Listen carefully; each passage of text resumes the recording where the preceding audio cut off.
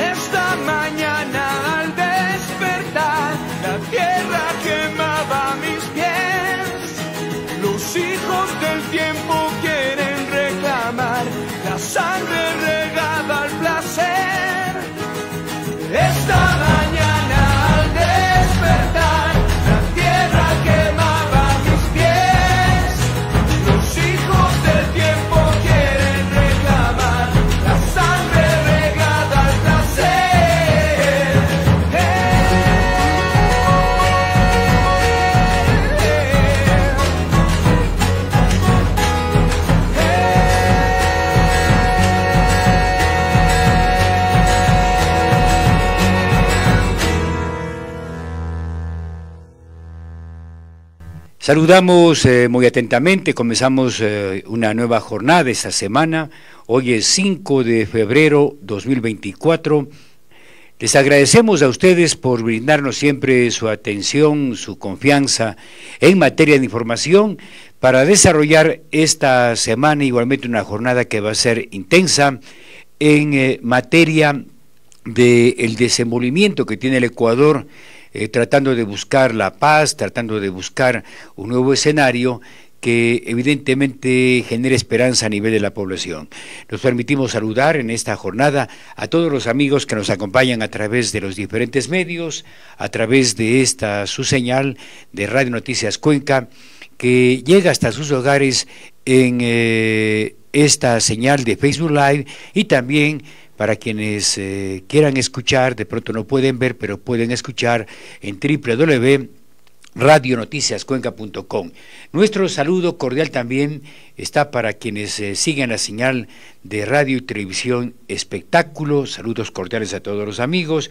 Igualmente, el saludo cordial para todas las personas que siguen la señal de Tropicana, eh, más medios, periodismo sin mordaza, también se une Radio Limón, Radio Lausí, para esta señal informativa en donde vamos a actualizar la información. Temas importantes vamos a evocar.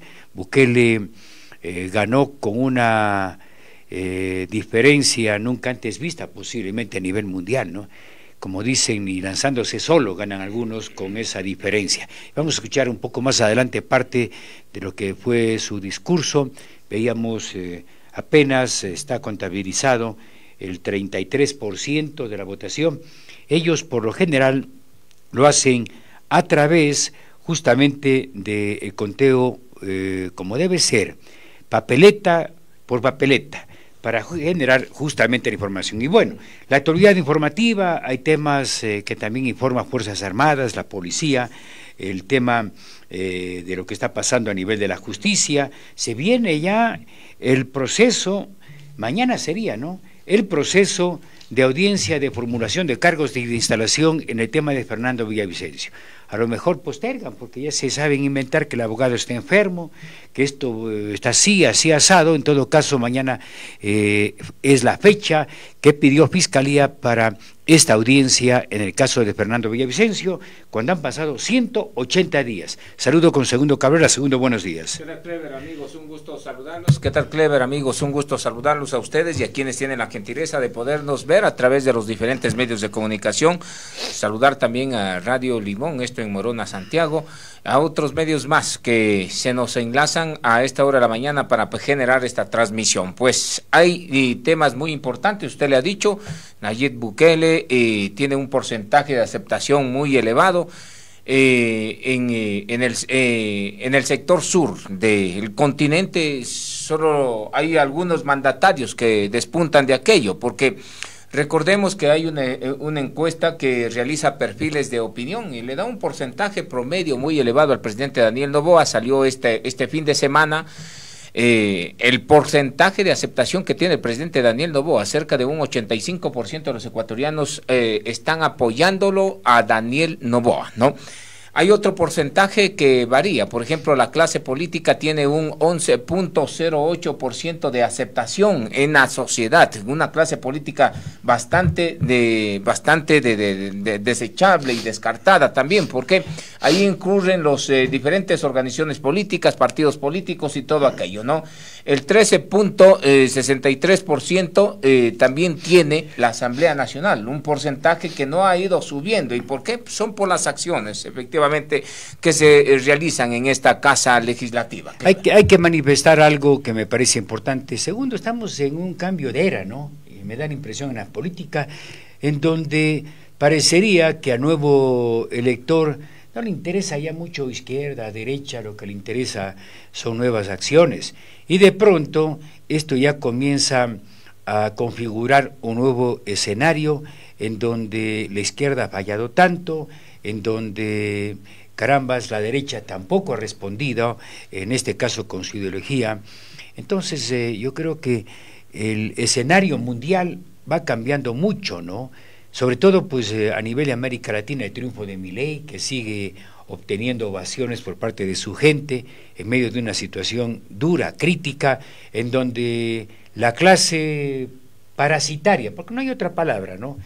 Sigue queriendo hacer lo mismo en medio de una crisis, de un proceso inflacionario que suma de 25 puntos mensual, ¿no? un proceso inflacionario en donde los parásitos, los que no trabajan, ¿no? quieren seguir melando del Estado, eso ya va camino a cambiar. ¿Quién se iba a imaginar, segundo, eh, a propósito de esta reflexión, quién era Daniel Novo antes? Nadie, nadie, ¿no? Acuérdese. Nosotros que seguimos la información sabíamos que era asambleísta, Tampoco era un eh, parlamentario que se hacía notar mucho. Presidía la Comisión de Desarrollo Económico, si se acuerda, ¿no? Entonces, eh, pasaba, sabíamos que era hijo de, Alvarito, y de pronto este joven, en medio justamente de esta debacle política del Ecuador, en donde, reitero, la gente se cansó de la izquierda, se cansó de la derecha, se cansó de los mismos, ¿no?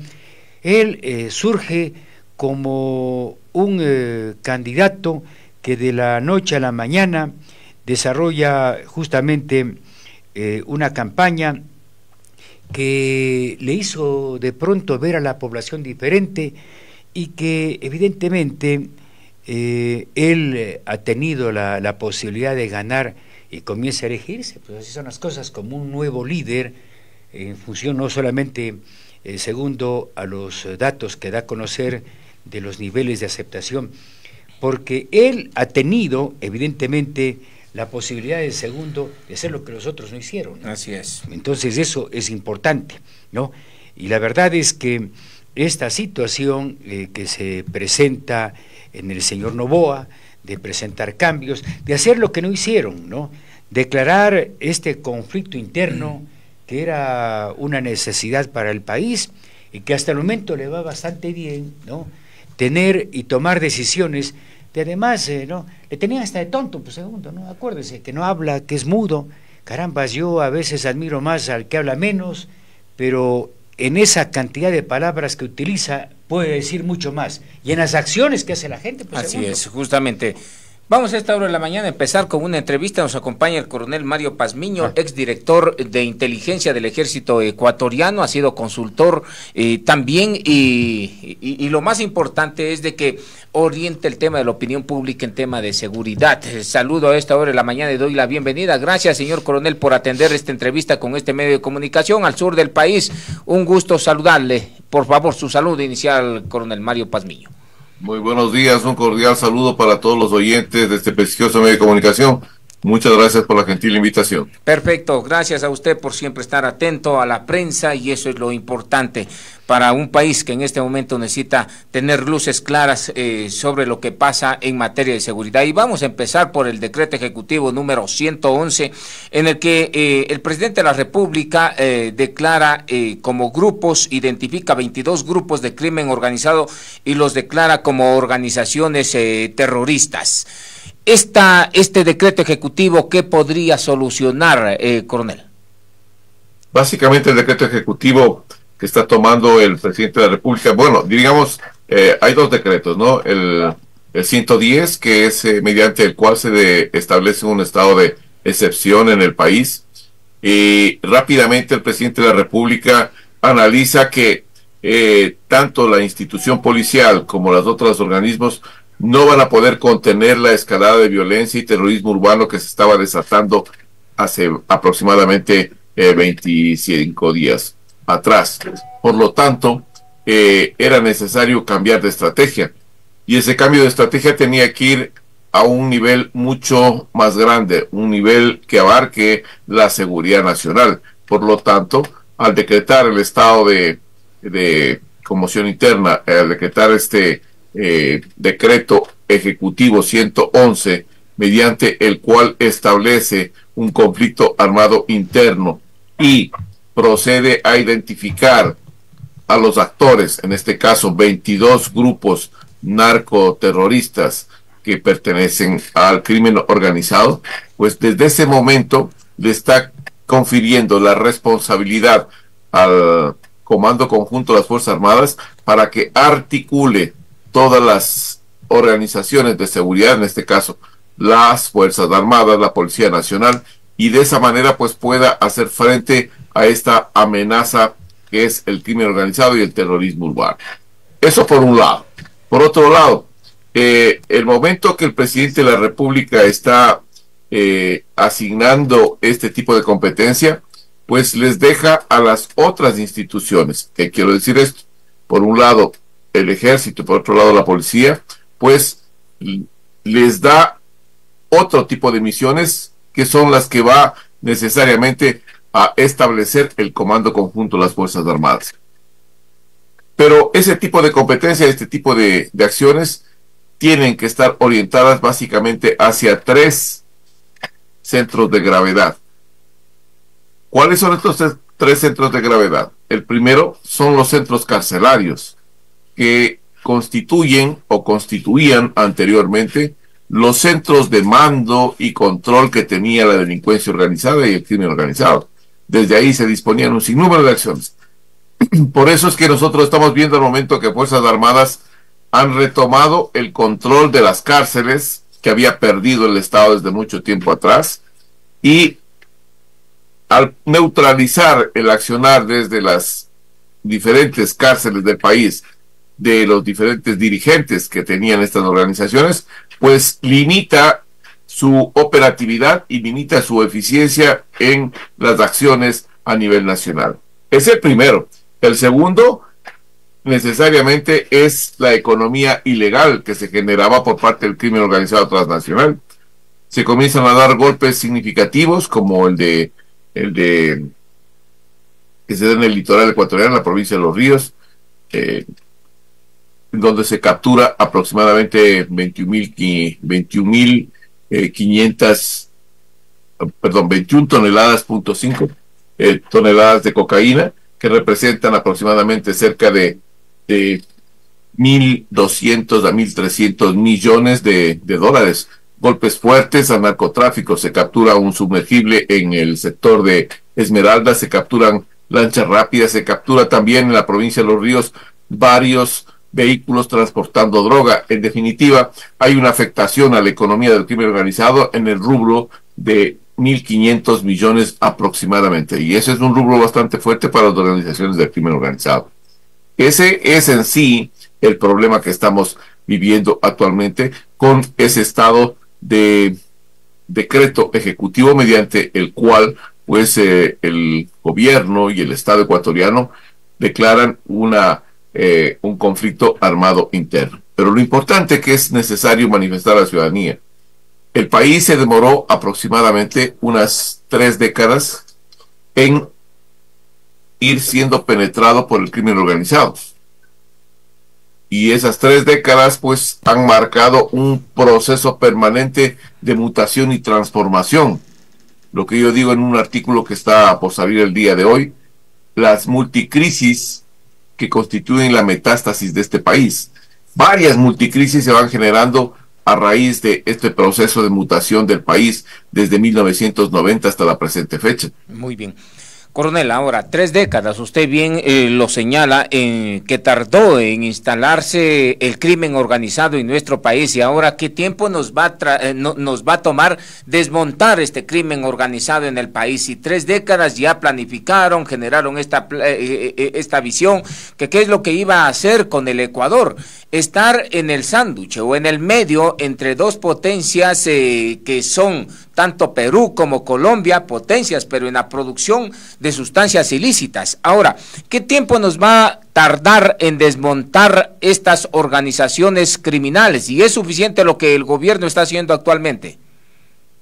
A ver, eh, si bien es cierto, se demoró tres décadas en penetrar los cinco estamentos de, de control gubernamental, pero nos va a tomar aproximadamente unas cuatro décadas en tratar de retornar a los niveles de seguridad óptimos que teníamos en el año de 1990, donde no había mayor actividad y presencia. Pero esto no es tan fácil, no es tan sencillo.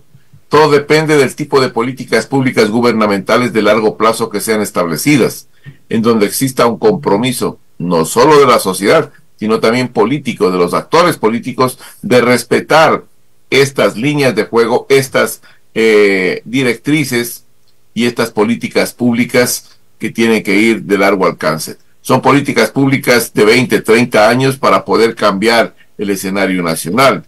Eh, por otro lado, el, el tema de la de este proceso mediante el cual estamos nosotros en un conflicto eh, armado interno esto no va a terminar tan fácilmente en 20, 30 días más que finaliza el estado de excepción. Eso sería un absurdo el pensar de esa manera. Yo creo, y creo que las autoridades están conscientes también, de que esto va a prolongarse algunos años, algunas décadas tal vez. Viviremos siempre con la incertidumbre de lo que está pasando, lo que puede pasar, lo que hace España, por ejemplo, lo que hace Colombia, lo que hace México. Todo el tiempo la población está sujeta a estos vaivenes del terrorismo urbano y nadie sabe cuándo pueden pues ejecutarse y hacerse. Por lo tanto, eh, esto va a seguir y esto recién está comenzando. Muy bien, la solución está en propuestas que, que caen directamente en el tema político partidista porque siempre nos recuerdan el año 2016, en donde Ecuador se lo situaba en el segundo país eh, más seguro del continente americano. ¿Qué hay de cierto en aquello? Porque imagínense, tres décadas para consolidarse en lo que hoy en día está en el Ecuador y después salen propuestas de campaña en decir, bueno, si nos apoyan a nosotros políticamente, vamos a volver a los niveles de seguridad que teníamos en el año 2016, y me refiero directamente al correísmo. Eso es una ilusión, son espejismos. Creo que rompimos un, una línea que es nunca se debió romper, es la del terrorismo urbano.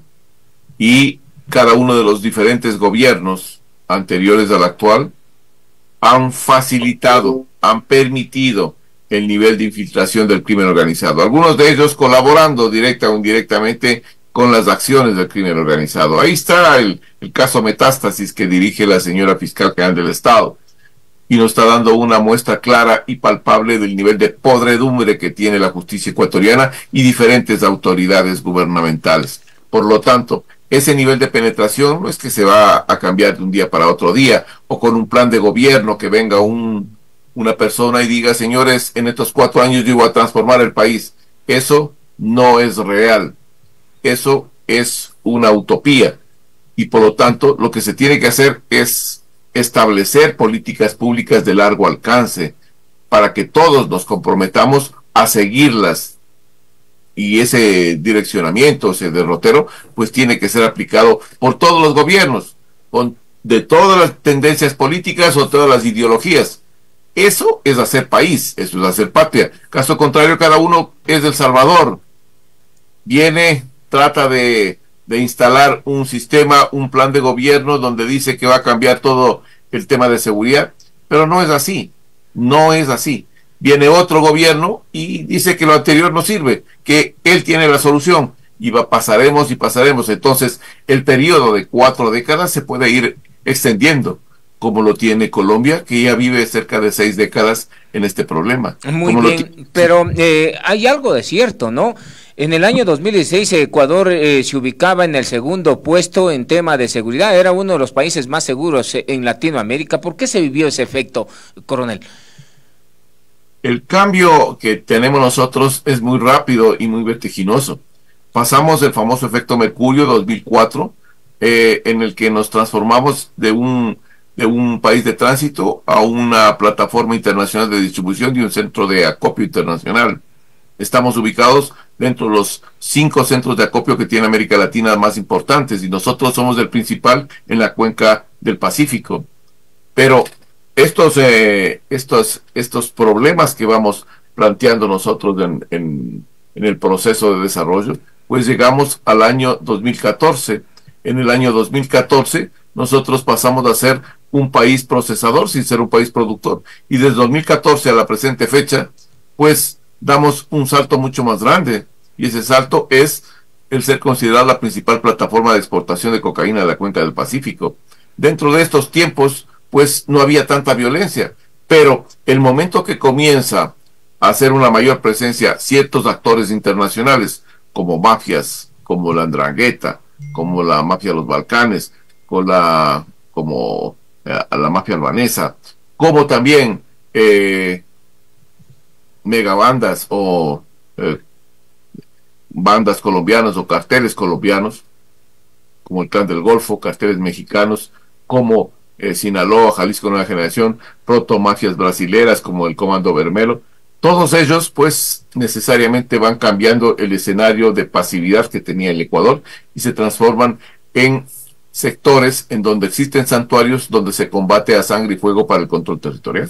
Muy bien, pero eh, el efecto de tener unas leyes laxas y una constitución que abre las puertas para el crimen organizado dio lugar a que eh, las mafias delincuenciales, grupos delincuenciales organizados, le pongan los ojos directamente al Ecuador. Y me refiero directamente a esta constitución en el año 2008, en donde en su artículo 416 se declara un tema de ciudadanía universal. El artículo 12 de la constitución da derechos eh, bastantes a personas extranjeras. El artículo 5 de la Constitución dice fuera bases de manta y todo aquello, no hay control y nos debilitan la institucionalidad, nos debilitan los controles también en las fronteras y todo aquello. ¿Cree que tuvo incidencia estas acciones políticas en tema de seguridad, coronel? Creo y estoy convencido de que ese tipo de acciones de ese gobierno lo único que hicieron es facilitar que el crimen organizado se instale en nuestro país. Al haber pedido un sinnúmero de leyes que favorecen al crimen organizado, pues indudablemente que vieron una oportunidad para instalarse en este país. Súmela a esto, pues la salida de la base de Manta, que no era otra cosa que una, un requerimiento que tenía las FARC, porque las FARC eh, veían la dificultad de poder seguir traqueteando, sacando droga desde, desde Ecuador hacia eh, Centroamérica y México, y esa base les impedía. pero ahí son los acuerdos entre gobiernos y grupos de narcoguerrilla colombianos para poder, pues, eliminar ciertos problemas que tenían y continuar con el proceso de del comercio de cocaína a nivel global. Esas son las realidades de nuestro país, del comprometimiento de los de los diferentes gobiernos con el crimen organizado, las leyes orientadas a facilitar esa instalación. Fíjese solo un, ejemplo. Creo que dos días atrás o tres días atrás, la Asamblea vota por, por esta ley de extinción de dominio. ¿Y qué dicen los legisladores? No, que eso no puede ser. O sea, no, no me cabe en la cabeza que los legisladores que dicen ser los representantes de los ecuatorianos digan no a una ley que va a ir en contra de todo lo que han robado para poder recuperar los recursos del, que eran del Estado. O sea, tenemos una asamblea que propicia, impulsa el robo en este país, porque le está diciendo nosotros lo cubrimos. Esa es la podredumbre de la función judicial y esa es la podredumbre de la Asamblea pero de, una u otra manera están eh, remando al lado de organizaciones criminales, grupos delincuenciales, porque son a ellos los que no les conviene esta ley de extinción de dominio que usted bien la trae a, eh, colación, coronel. ¿A quienes les perjudica más esta ley de extinción de dominios? Aquellos delincuentes de, de cuello blanco y aquella lumpen delincuencia que de la noche a la mañana aparecen como los nuevos, eh, los nuevos personas millonarias del país. Entonces, ¿qué, qué, destino va a tener el país si por un lado están grupos delincuenciales sitiando al Ecuador y dentro del mismo país están los grupos políticos que le hacen coro a estos grupos delincuenciales, coronel? Por eso mismo decía que es necesario cambiar todo el escenario nacional, cambiar con políticas públicas de largo alcance, porque como tenemos al momento los diferentes actores y dentro de esos actores parte de gran eh, estructuras vinculadas al crimen organizado, políticos que trabajan, jueces que trabajan, miembros de las instituciones de seguridad que trabajan para el crimen organizado, la sociedad y también el sistema financiero, entonces tenemos un problema mucho más serio. Por eso es que el cambiar todo eso no solo va a ser de un día para otro, van a tomar algunas, algunas, algunas décadas. Sin embargo, de lo que estoy manifestando, creo y estoy convencido de que el país tiene la oportunidad de cambiar y una forma de demostrarlo es lo que se está haciendo al momento. El presidente actual tomó las riendas de un país completamente desorientado, en donde tres administraciones anteriores facilitaron el posicionar el crimen organizado en este país. Está dando los diferentes eh, eh, estrategias o está tomando las diferentes estrategias para poder ir disminuyendo esa influencia del Pero eso toma mucho tiempo. Eso toma bastante tiempo, necesita recursos, cooperación internacional, necesita eh, también una participación directa de la sociedad en este proceso de transformación y cambio. Muy bien, no solamente es combatir a cerca de 40 mil eh, delincuentes que forman parte de estas organizaciones delictivas, sino un eh, Estado penetrado por el, eh, en la narcopolítica, como se decía anteriormente. Y mire, aquí hay un, un dato muy importante, la Fundación Panamericana para el Desarrollo, en donde el país bate récords en cuatro, de, en cuatro variables que nos pone en consideración. Grupos al estilo Mire el promedio lo, global, coronel, 3.89, promedio de América Latina 5.40 y el promedio del Ecuador 6.50. En este parámetro nos eh, perdimos el año. En redes criminales, el promedio global se ubica en 5.45, el promedio en América Latina 5.61 y el eh, promedio en el Ecuador 5.50. Y aquí está el factor importante, actores estatales involucrados. 5.76 el promedio global, eh, el promedio en América Latina 5.61 y el promedio en el Ecuador 6.50. con estos datos, coronel, qué es lo que podríamos ver eh, en este caso más adelante, porque miren, eh, penetraron grupos delincuenciales en estructuras del Estado y empezaron a debilitarla netamente estas, estos grupos criminales no quieren salir del poder estatal porque, usted sabe, tienen impunidad. Hasta los mismos jueces, fiscales, abogados, policías y todo aquello eh, trabajan para estas líneas delincuenciales. Y cuando nos ubican en un promedio en donde nos ganamos la medalla de oro, pues ¿qué podemos esperar que se nos viene, coronel? Bueno, lo que se nos viene es que vamos camino a ser un Estado fallido porque lo que usted acaba de describir a nivel global, primero tiene dos repercusiones gravísimas. La una es que la comunidad internacional nos reconoce como un país altamente violento e inseguro. Esto tiene sus repercusiones. Ningún empresario va a querer venir a, invertir en el Ecuador. Tampoco van a haber capitales frescos. Y esto pues va a repercutir tremendamente todos los productos que salen del país tendrán que ser chequeados por la comunidad internacional, porque de pronto vienen infectados, no de alguna plaga o un hongo, sino infectados de cocaína. Entonces, la imagen del país se deteriora tremendamente. Eso por un lado. Por otro lado, estas uh, organizaciones de crimen organizado, pues lo que están haciendo al momento en el país es potencializar estas diferentes amenazas internas y darles un mayor valor estratégico. ¿Qué quiero decir con esto? Lo que estamos viendo nosotros al momento es la creación de lo que se llama micro, microcarteles o carteles de primera generación. Y en el país tenemos dos de estas estructuras ya en desarrollo. Por lo tanto, el país, sin ser un país productor, un país procesador y un país de tránsito, como ustedes quieran llamarlo, o principal plataforma de exportación de cocaína, pues va en el escenario geopolítico regional a considerar o a constituirse en un punto central de la atracción global y de la atracción también regional con relación al tema de la cocaína. Bastante claro, coronel. El tema de los grupos delincuenciales organizados incide bastante en el tema de los choneros, por un lado, en el tema de los lobos, por el otro, tiguerones.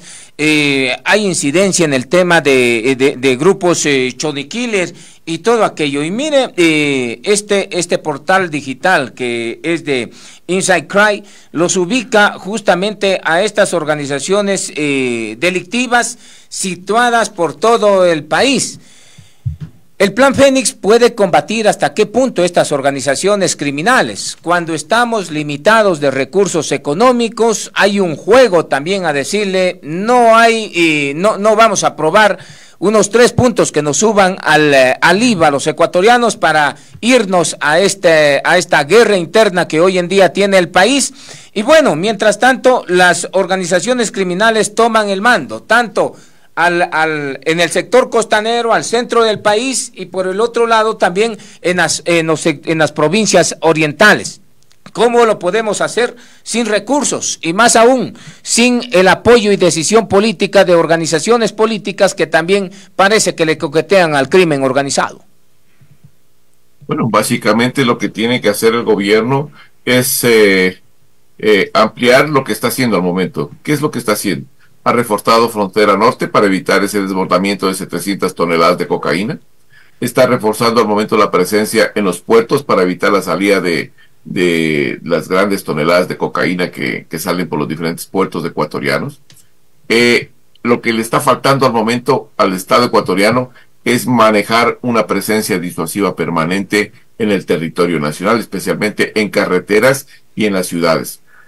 ¿Qué quiero decir con esto? Esto quiero decir que es una fusión de los diferentes organismos de seguridad que tiene el Estado trabajando para la colectividad los siete días de la semana, 24 horas de, de, trabajo permanente y por lo tanto, pues usted dijo una gran verdad, no se cuenta con la cantidad de personal, ni con el armamento, ni la tecnología, ni los recursos. Sí, pero el Comando Conjunto de las Fuerzas Armadas está ya pensando, fíjese cuál es la magnitud del problema que tenemos, está ya pensando en convocar posiblemente a las reservas de Fuerzas Armadas para incorporar un contingente mucho más rápido que prepararlo y comenzar a reclutar nueva gente, sino ya tiene eh, un contingente que podría aliviar la carga, especialmente de los relevos que tienen que hacerse. Eh, eso, pues, eh, a mi criterio, es lo inmediato que tiene que hacer el presidente de la República. Lo siguiente es, pues, acciones mucho más concretas. Eh, una reingeniería total del sistema carcelario, una reingeniería del sistema de inteligencia que ahí tiene una deficiencia bastante grande, una reingeniería de, del, sistema eh, especialmente de jueces y fiscales eh, de justicia, en donde se tiene que visualizar que el problema principal ahí está en que los jueces y fiscales son rápidamente cooptados por el crimen organizado. ¿Cómo se puede evitar eso? Realizando pues las acciones legales correspondientes en base a jueces y fiscales sin rostro y operando desde el exterior. De esa manera no tienen ninguna vinculación con los actores y pueden pues también guardar cierta seguridad estos funcionarios. Creo que ahí están algunas de las estrategias que puede utilizar el gobierno para ir cambiando el actual eh, proceso que tenemos de no hacerlo, como dije anteriormente, y lo que decía mi gran amigo Francisco Huerta, Pancho Huerta, pues el, estamos viendo el nacimiento de un narcoestado. Yo le decía, vamos más allá, estamos ya camino a ser un estado fallido. Muy bien, eh, reformas a las leyes y también una constitución para los ecuatorianos. ¿Podría ser esto el camino? digamos, el tema de la ciudadanía universal, como le decía anteriormente, también el Código Orgánico Integral Penal con eh, sanciones más severas. Decía el general Víctor Herrera, eh, comandante de la zona 8 de la Policía Nacional, decía muy bien, vamos a equiparar quizás con eh, sanciones más drásticas. En Colombia los, eh, los homicidios son sancionados con cerca de 58 años. Aquí tenemos una constitución bastante laxa y claro, el tema también de cooperación internacional que por todo lado lo ven mal. Mire lo que pasa últimamente. Viene Estados Unidos y ya viene la organización política de la Revolución Ciudadana a cuestionar este tipo de acuerdos. Hay que retomar, ¿cree usted que hay que retomar el tema de la base de Manta o no? Y para eso necesitamos una reforma a la Constitución. No, con relación a la última pregunta suya, no creo que al momento eh, la Constitución es muy clara, la, la ciudadanía votó eh, porque no se instalen bases militares en el Ecuador y por lo tanto eso es, tiene que ser respetado.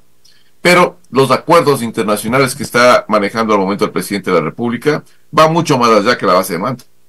Porque eh, los acuerdos firmados le permiten a naves o embarcaciones norteamericanas de guerra estar fuera del límite marítimo ecuatoriano en aguas internacionales colaborando directamente con la Fuerza Naval en operaciones de interdicción marítima. O sea, en otras palabras, toda embarcación que salga desde el continente hacia aguas internacionales, pues va a ser inmediatamente monitoreado. ¿En qué va a afectar esto?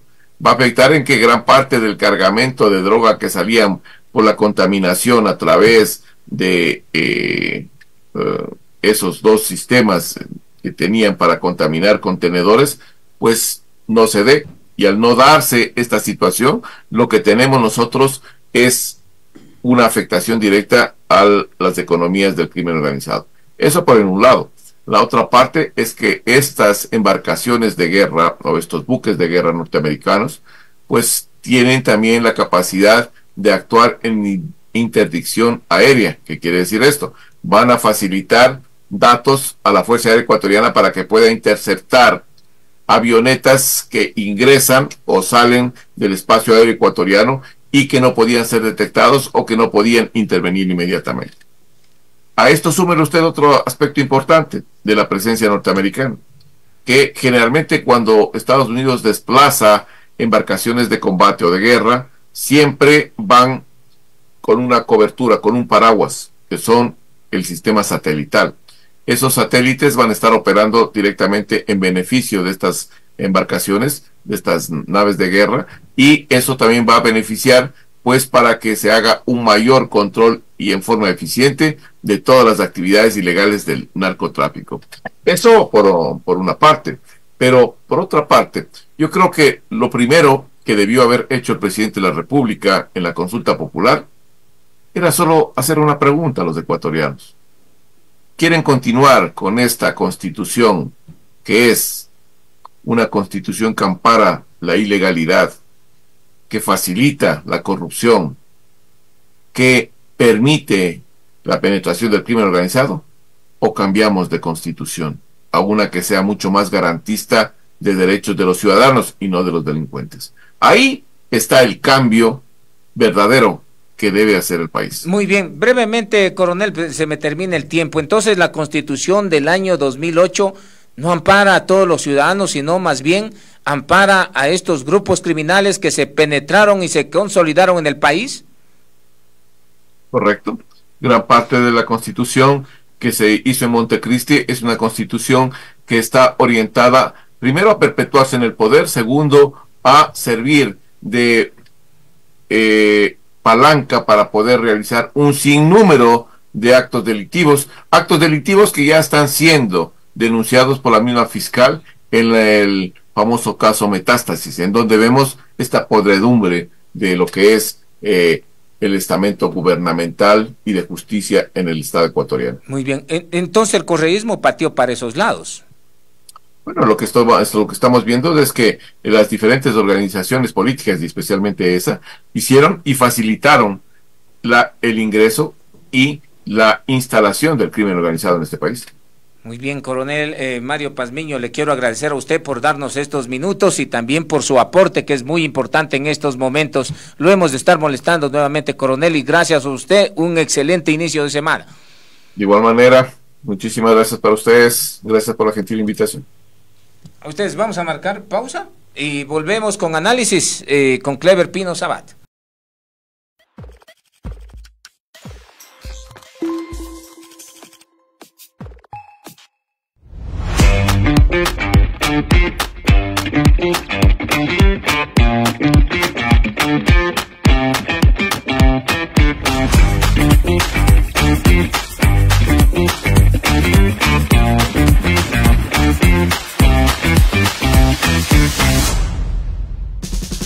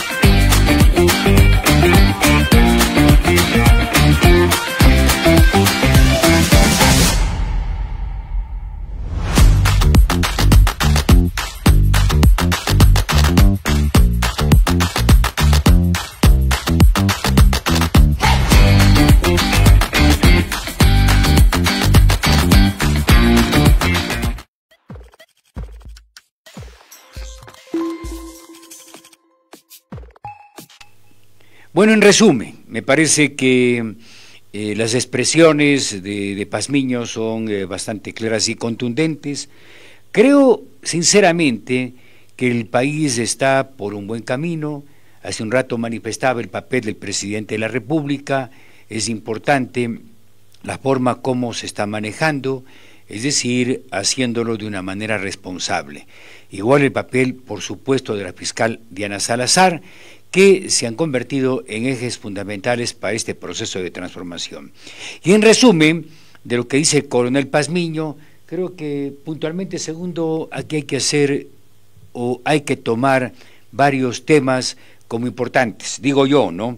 Es importante que el Código Orgánico Integral Penal también se convierta en una herramienta que genere ese temor, porque no es igual como está actualmente diseñado y con la actitud de los jueces que tener un código orgánico integral penal mucho más duro, más contundente, que yo diría incluso en el ánimo radical que tenga cadena perpetua, ¿no? Para personas que cometen delitos graves como el narcotráfico, como por ejemplo se roban el dinero del pueblo ecuatoriano a través de las coimas, a través de ese manejo de la comisión en cada uno de los contratos que van desde el Estado hasta el municipio más pequeño. Eso tiene que cambiar definitivamente.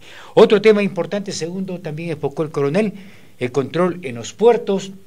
Allí tiene que haber un control contundente con los escáneres. El Ecuador tiene 10 puertos, ¿no? Y esto facilita el traslado de droga, sobre todo a Centroamérica. Hay 10 puertos que no están lo suficientemente controlados, lo que genera justamente este malestar. Y el otro tema es la ruta del dinero, que muy bien eh, manifiestan eh, varios personajes ya de la política ecuatoriana, decía la misma doctora Diana Salazar en varias ocasiones, tiene que haber evidentemente una propuesta para que se haga un seguimiento del control del dinero que está regado en el sistema financiero nacional. Y esto significa, o se habla de una cifra que supera fácilmente los 10 mil millones de dólares, que posiblemente, segundo, está ayudando a que la dolarización no se vaya a caer en este momento, ¿no? Miren lo que, lo que está pasando, porque el sostenimiento de este dinero, que es el que eh, se maneja en el sistema financiero nacional, y que la banca, los banqueros, las cooperativas, la super de banco sabe. Por eso es que habla de la necesidad de que haya una ley que permita la ruta del dinero, como ya se ha hecho en Argentina, como se ha hecho también en Colombia y en México igual, para establecer quiénes son los poseedores. Consecuentemente, el tema de las cárceles también es importante, generar un proceso de clasificación para que quienes cometen o son los de más alto riesgo estén en cárceles segundo incomunicados. Se lo están se lo está generando justamente en estos días ya se han movido los cabecillas de organizaciones delictivas de las diferentes cárceles del país a ya una más sólida. Entonces, Claro, mientras no se tenga el control, el control al 100% de los centros carcelarios, estos van a ser lugares estratégicos en donde se planifiquen atentados y más crimen organizado. No, eh, un tema bastante importante y curioso es de eh, la ruta del Pacífico para sacar la droga que viene desde Esmeraldas a través del cantón San Lorenzo, desde el puerto San Lorenzo viene la droga, ¿no? Y se conecta, si usted va directamente por Tulcán, se conecta con un sector llamado La Bonita, ¿no? Es una parroquia, es una parroquia que tiene justamente eh, eh, el, a ver, hay una parroquia que, que, se llama La Bonita, ¿no? Que pertenece a Carchi. Y es ahí un sector por donde es utilizado por grupos delincuenciales y hasta disidencias de las FARC para traer y pasar la droga. ¿Y hacia dónde cae con esto? Cae, por ejemplo, hasta Riobamba, Cotopaxi, todo aquello. Después eh, existe otra ruta que va directamente hacia Manta, Guayaquil y de ahí contaminan los aeropuertos, pero si sigue la ruta de eh, eh, la ruta central, la, ruta de, la sierra del país, pues viene inclusive hasta la provincia de La Suay a través del cantón Camilo Ponce Enríquez para contaminar los cargamentos que existen en el puerto Bolívar. O sea, esas son las rutas del Pacífico que se debe de estar controlando y que lamentablemente no hay escáner por ningún lado. Así es, no, no, creo que en el puerto de Guayaquil y en Manta creo que hay, pero el resto no tiene, ¿no? Consecuentemente, esa implementación de escáner es una urgencia. Y lo que manifestaba, evidentemente es preocupante, la ruta del dinero, decía que es importante que, y esa es la parte dura, viene un quinto elemento que caramba, si es que no asume una actitud, hablo segundo de los partidos políticos que están hechos los que no quieren saber nada de la ley de extinción de dominio, porque esta ley es justamente la que va a permitir hacer un seguimiento de esa ruta del dinero, porque no es fácil que cualquier persona de la noche a la mañana tenga una cuenta de millón de dólares, dos millones, y que maneje con una facilidad increíble. Entonces, con esa ley más el comportamiento y los señores del Partido Social Cristiano y los señores de la Revolución Ciudadana tienen que cambiar de idea. Y me llama la atención también la actitud de Pachacuti y de Unidad Popular, que suponen absolutamente a todos, segundo, ¿no?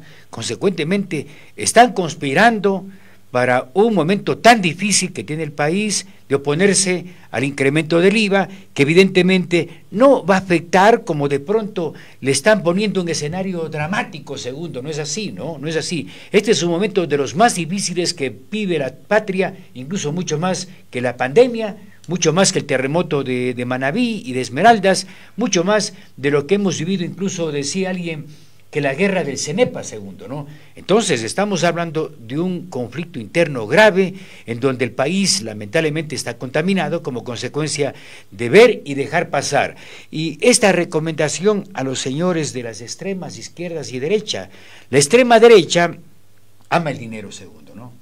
La extrema izquierda también ama, porque no tiene, ¿no? Y lo que busca es enriquecerse y desea tenerlo en grandes cantidades. Son temas que tenemos que en ingresar ya definitivamente a que se establezcan. Si es que estos cinco puntos que, que, resumen lo que manifestó Mario Pazmiño y que son ya los que se tienen que dar con una eh, postura firme del presidente de la República y un apoyo de la clase política, caso contrario, no solamente vamos a estar contaminados décadas, ¿no? sino de por vida. Vamos a ser presas de narcotráfico a nivel del país seguro. Así es, eh, cerca de 30 años, tres décadas se tardó en consolidarse las organizaciones delictivas, lo había señalado el coronel Mario Pazmiño acá, y claro, hay un efecto mercurio que se da en el año 2004, esto en Colombia, en donde ya pasamos no solamente a ser el país, no solamente pasa a ser el país de tránsito de droga, sino de almacenamiento de drogas del año 2014 y del año 2014 para el año 2024 que estamos en este momento,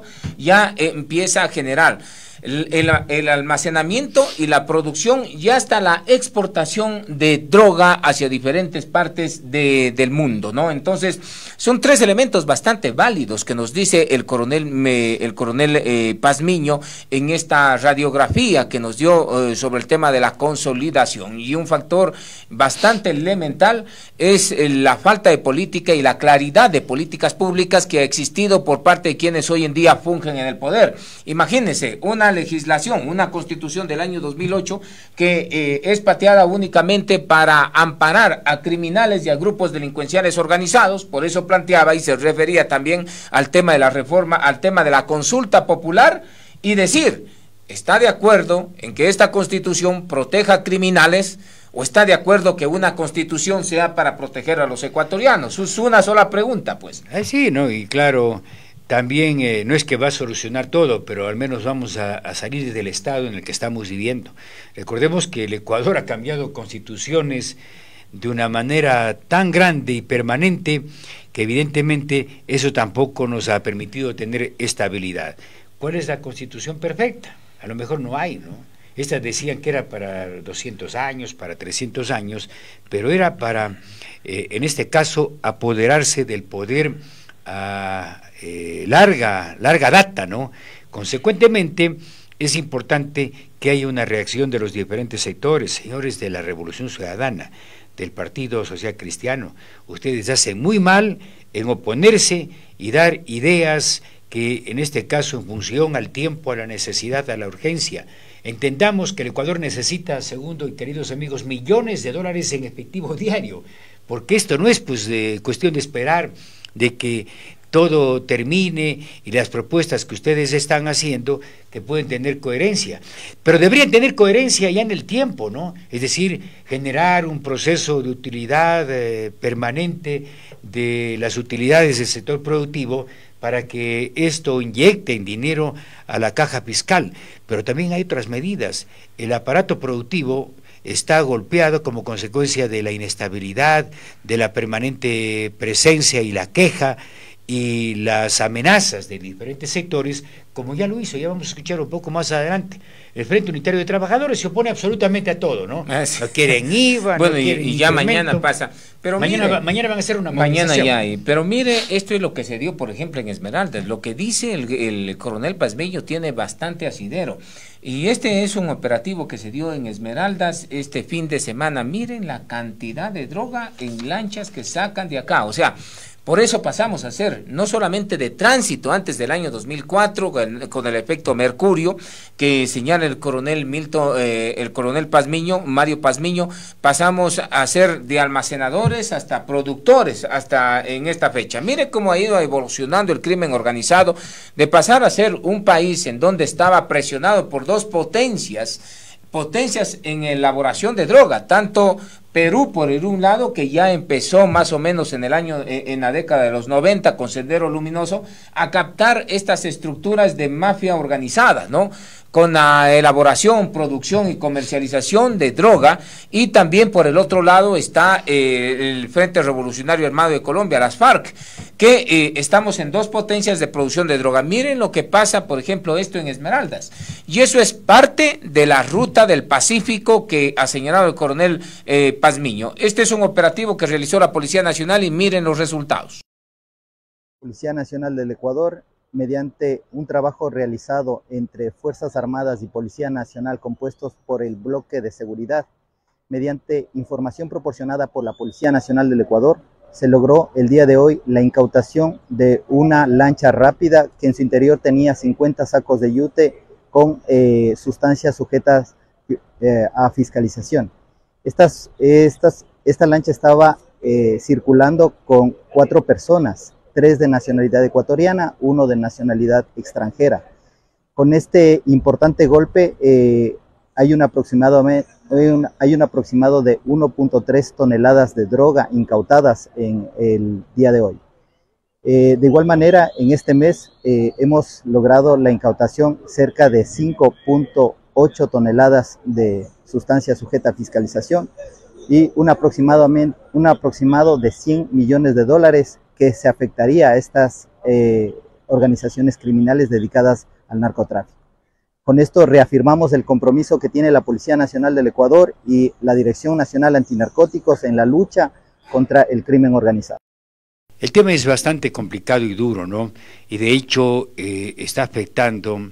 Vaya usted a saber qué estará pasando al interior de estos grupos delincuenciales, ¿no?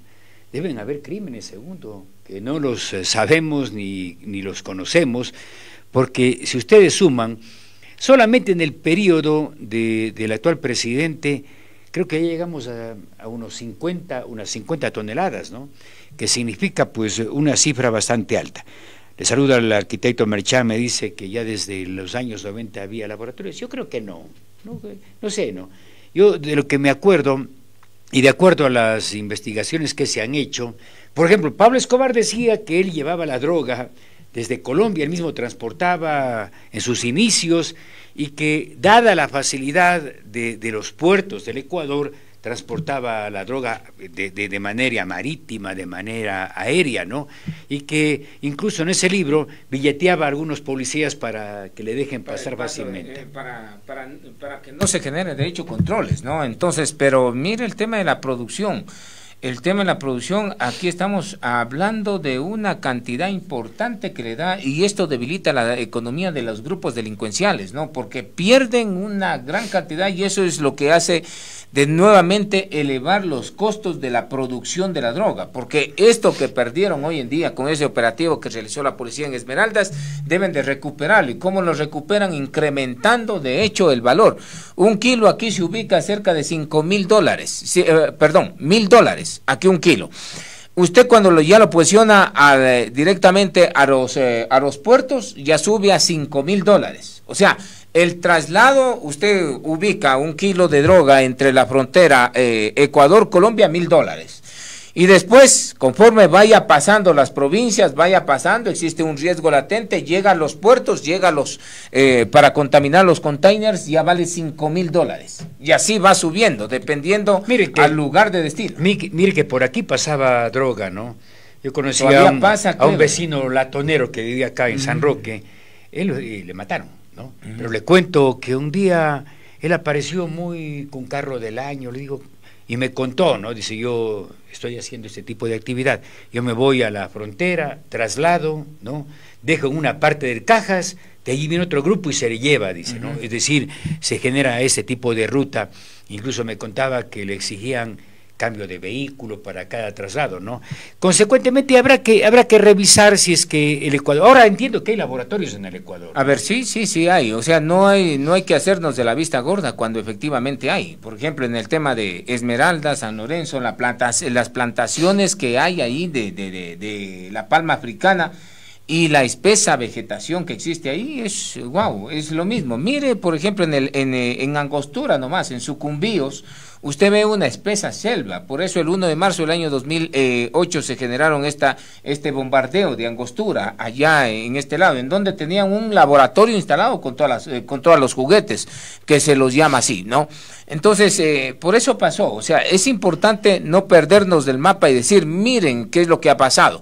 Antes éramos de tránsito nomás, eh, Ecuador era de tránsito, después de almacenamiento y hoy en día de producción y exportación. Así es. Bueno, vamos con algunas imágenes. Se, el día sábado también, viernes o sábado fue segundo, que descubrieron otro aeropuerto. Pongamos unas fotos de, la isla Puná, ¿no? Eh, en la zona de Puná se descubrió un aeropuerto, ahí están viendo ustedes las imágenes. Es decir, eh, miren ustedes, eh, es, un video, ¿no? Donde estamos viendo cómo Fuerzas Armadas, mire usted el segundo, ¿no? Estos aeropuertos de 1.300 metros, ¿no? Para las avionetas. Para las avionetas y vemos cómo se procede a la destrucción de estos aeropuertos, hay por docenas en el Así es, pues es igualmente el tema de, la falta de, los radares, Clever. Claro. Y es el asunto, no, no, no tenemos control ni aéreo ni ningún lado de estos. que esto también está detectando el apoyo de Estados Unidos. Así es, no. Ellos pasan un avión que tiene y ya saben dónde está, pues. Ese es más fácil, hacer volar un dron y nada más eh, eh, que aquello, que cuadra justamente con las simetrías que tiene este campo para poder aterrizar avionetas que vienen cargadas, por un lado, eh, vienen cargadas de dinero y de armas también para abastecer a los grupos delincuenciales y aquí se les abastece con la droga, mire. Y ese es eh, evidente por dónde eh, va directamente este, este tema de las avionetas, las narcoavionetas que van directamente por este lado. tenemos unas, eh, un control bastante débil en nuestro país, Clever. Bueno, perfecto. En todo caso, ustedes vean, esto se desarrolló el pasado día sábado, ¿no? Se descubrió este tipo de pistas aéreas clandestinas para el traslado de la droga generalmente utilizan esas pequeñas avionetas Cessna, ¿no? que tienen capacidad para cargar hasta cuatro toneladas, ¿no? y que evidentemente son herramientas de uso de narcotráfico. Así es que estas son las imágenes que ustedes están, viendo de la destrucción de una pista clandestina. Pasemos a, la siguiente. ¿no? Eh, pasemos a, la 3, porque ya la 2 ya pasamos hace un rato, que era lo de, lo de Esmeraldas. En estas imágenes... Eh, eh, miren este accidente segundo, ¿no? Resulta agredido un miembro de la policía. Eh, son situaciones que lamentablemente se dan de los acontecimientos cuando el miembro de la policía circula por la principal, ¿no? Y aparece un carro, se cruza y mire ese accidente terrible, ¿no? y la verdad es que el sujeto que comete el accidente se para, eh, luego de que se destruye una parte frontal de su vehículo y luego huye, ¿no? La clásica. Claro. Este es a, ver, eh, de hecho, al ver la gravedad que tiene el accidente, no lo queda otra que huir. ¿no? Y, el impacto bastante fuerte, ¿no? El impacto bastante fuerte de este accidente y ahí lo vemos al, al vehículo que pasa, no respeta y clean o sea, se baja para ver, pero ya le ve que está al otro lado y mire, desbaratado casi el vehículo, la motocicleta queda también ahí, y ya eh, baja, que ya ve que no se levanta y lo típico es dejarlo ahí y seguir con la camioneta. Sí, ¿no? Terrible, y la verdad es que esto debe ser, oiga, yo creo que uno cuando tiene un accidente debe ser responsable, ¿no? Usted mismo o una persona le podría salvar al, al accidentado, ¿no? Consecuentemente el tipo huye y ya es un prófugo. Pues, Así es, es un agravante, siempre y cuando se logre identificar a, la camioneta, que sí, en su mayoría se logra, porque hoy en día la facilidad con las cámaras, si por ejemplo esta cámara que toma este video de manera general, en una toma general, eh, se la sigue, más adelante debe de haber otra, otra cámara y así, o sea, eso sí ayuda el tema de seguridad, ¿no? Si aquí no se logra captar la placa del vehículo, las otras cámaras eh, en adelante puede ser que lo que lo logren eh, captar y es parte de la investigación que se inicia, Clever. En este mismo segmento, en Ibarra, miren lo que pasó en la madrugada de hoy, ¿no? Terrible, terrible lluvia, colapsó seis viviendas segundo. Consecuentemente, esto también para informarles a ustedes que son situaciones que, mire, mire la, la lluvia, cambió el clima segundo, ¿no? Tuvimos un veranillo con un calor sofocante, casi insoportable. Hasta la semana pasada nomás, donde la radiación era bastante complicada, Clever, ¿no? Y mire, hoy en día se, se ha convertido en verdaderos lagos e, este sector. Y vea que eh, esto es en Imbabura, ¿no? Sí. Vale la pena destacar algo. Por ejemplo, ahí hay una laguna que se llama la Cuicocha, ¿no? Cuicocha, eh, claro. sí, y hay otra que se llama Yaguarcocha. Y también hay un lago, un lago, eh, Imbabura, el tema de los lagos es bastante, y vea que en la cabecera de Imbabura hay lagunas también, ¿no? ¿Y cuál es el asunto? Por ser planicie, usted eh, ve en algún lugar y llueve un poquito y la inundación empieza a, darse, como es en estos casos. Este es en la zona del Arcángel, ¿no? El redondel céntrico, y aquí está el Arcángel, en donde es un lugar eh, totalmente plano es un lugar céntrico de, eh, de, de, Imbabura, pero mire, cae un aguacero y ya listo. ¿Por qué? Porque también las lagunas aportan para aquello pese a ser una zona bastante tranquila, pero tiene problemas en tema de, de, aguas e inundaciones. Bueno, ahí estamos viendo algunas imágenes de lo que pasó. Mire esa barbaridad, ¿no? Las casas eh, incluso fueron eh, muy. Se deshacen, mire. Claro, es de adobe. Así es, no, es que tiene un patrimonio bastante interesante también. Imbabura tiene un patrimonio bastante eh, hermoso que tiene Imbabura. Es, es una, es una ciudad muy, muy, muy, muy bonita, muy bonita de visitarla, pero tiene estas debilidades que hoy en día vemos. Bueno, en todo caso, vamos con la nota 5 a continuación, ¿no? Al arquitecto Merchan le saludo cordialmente, me dice, ¿y los aviones? Oh, en época de, de, de correr los aviones ingresaban y salían como taxi, ¿no? Mm, Acuérdese. ¿no? ahí mismo iba alias el Nacho, recuerden ustedes, en el año 2009, en el año 2008, este delincuente alias el Nacho era jefe de seguridad interna del país, del Ecuador, o sea, el que mandaba la Policía Nacional. Un delincuente como estos, un narcotraficante que fue brazo derecho del delincuente Rafael Vicente Correa Delgado, fue, fue parte del ministerio y, mandaba a la policía. y, ese proceso todavía está pendiente, ¿no? Eh, Hay más de a ver, ya eh, había una sentencia en el año 2009. Ustedes recuerden, amigos, que a alias el Nacho, a José Ignacio Chauvin, que se lo conocía así, se lo declaró por parte del prófugo de Bélgica, que se lo declaró traidor a la revolución en ese cacareado y sonado discurso que dio el eh, expresidente, hoy en calidad de prófugo, y le dijo que era traicionero a la revolución, o sea, ya porque lo cogieron en curva, ya no tenía por dónde más escaparse este delincuente Chauvin, el narcotraficante que era parte de la revolución ciudadana y que ocupó un cargo de viceministro de seguridad interna del país. Imagínese Ahí es el ratón. asambleísta, pues, tanto. Uh, ah. de, esta manera son, vicepresidente. de esta manera son esta gente de acá, por eso hay que tenerles mucho cuidado. Yo no les confío ni un sacro de alacrán. Así siendo hoy autoridades, yo no les confío nada. Pero bueno, la, la verdad es que esto de los aviones todavía está pendiente. Incluso segundo había, pero es que la gente a ratos eh, no hace conciencia de lo que está pasando.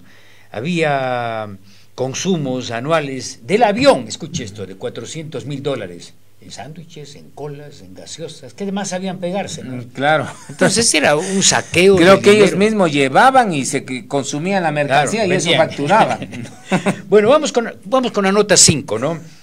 Solanda Goyes, ¿sí sabe quién es Solanda Goyes? Es de la alterna de Javier Muñoz en el Consejo de la Judicatura. Le hace la siguiente denuncia, ¿no? Está cobrando sueldo. Ah, también. En la cárcel está cobrando sueldo el señor, ¿no? Sí, sin vergüenza. Y eh, igual, el equipo de trabajo de este sujeto, que se llama Javier Muñoz, eh, que no, no, es nuestro Javier Muñoz, que fue alcalde, ¿no? Tiene el mismo nombre, pero este resultó una ficha en el Consejo de la Judicatura. Veamos eh, de noti hoy esta denuncia que hace Solanda Goyes, que es suplente de Javier Muñoz.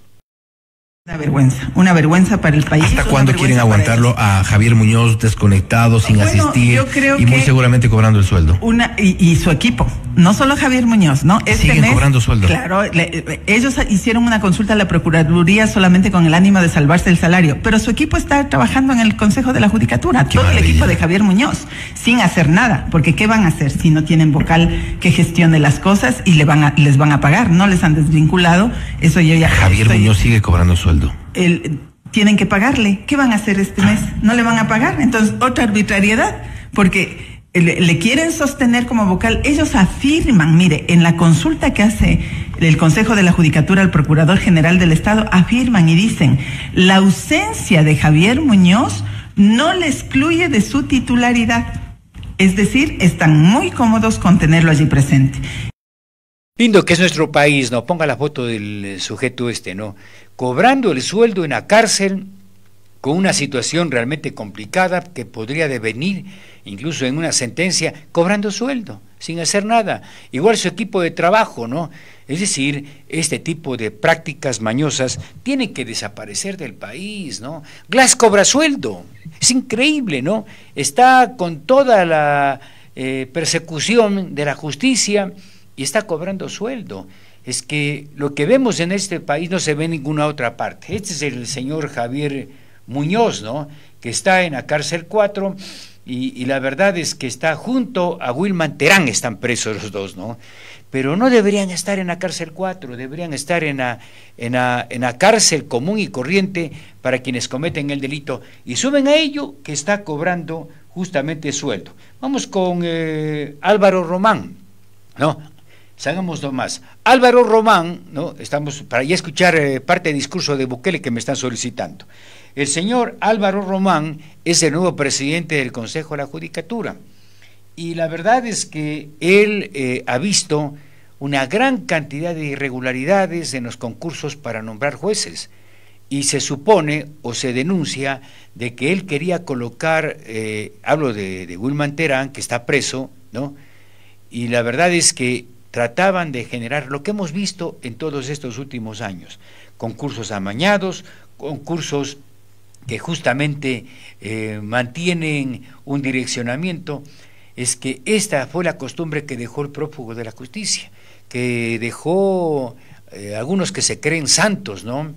Como Gustavo Yalc, que nombraba, hacía los concursos de pantomima, pero nombraba a los que ellos les daban la gana, sobre todo electos por parte de Rafael Correa. Si se deben acordar.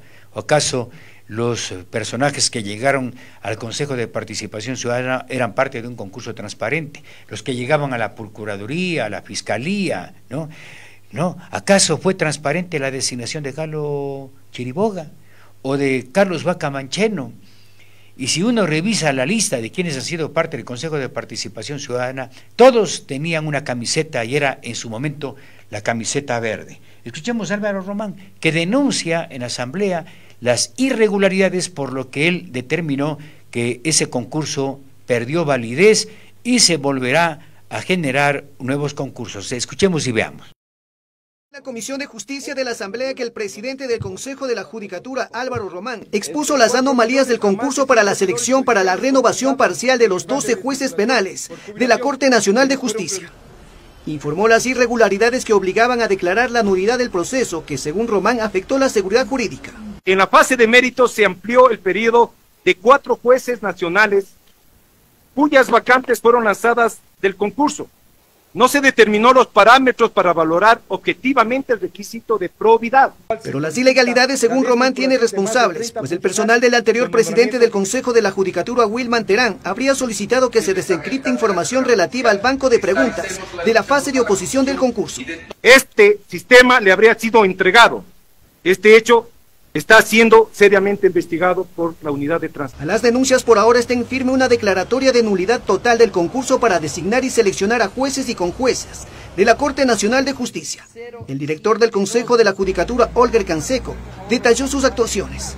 Lo que hizo es operativizar mediante memorando, disponer que talento humano proceda a conocer y evidentemente a dar cumplimiento a esta resolución. Dada la crisis que atraviesa la justicia, la asambleísta María Fernanda Araujo anunció analizar la invalidez del proceso de la designación de los jueces. Ahí nos salta una alerta roja del por qué el primer informe no invalidó el concurso. Que hay cómo cambiar esa actitud, esa actitud política y que no se debe seguir eh, trabajando en función de intereses personales.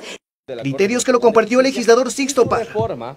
Es necesario que contemos con jueces titulares y que no se politice el tema. No obstante, el nuevo Consejo de la Judicatura pondrá en marcha el nuevo concurso para la selección y designación de jueces de la Corte Nacional de Justicia. Mientras esto suceda, la dirección de la Corte pasa por un momento de acefalía, una disputa que está en ver quién está al frente del máximo organismo de justicia. Rolando Ayauca, Medios Legislativos. Así, eh, ¿a quién le va a interesar ser parte de un concurso si sabe que los concursos son mañosos, ¿no? que los concursos están direccionados, y esa es la denuncia que hace el eh, titular actual Álvaro Román del Consejo de la Judicatura. ¿no?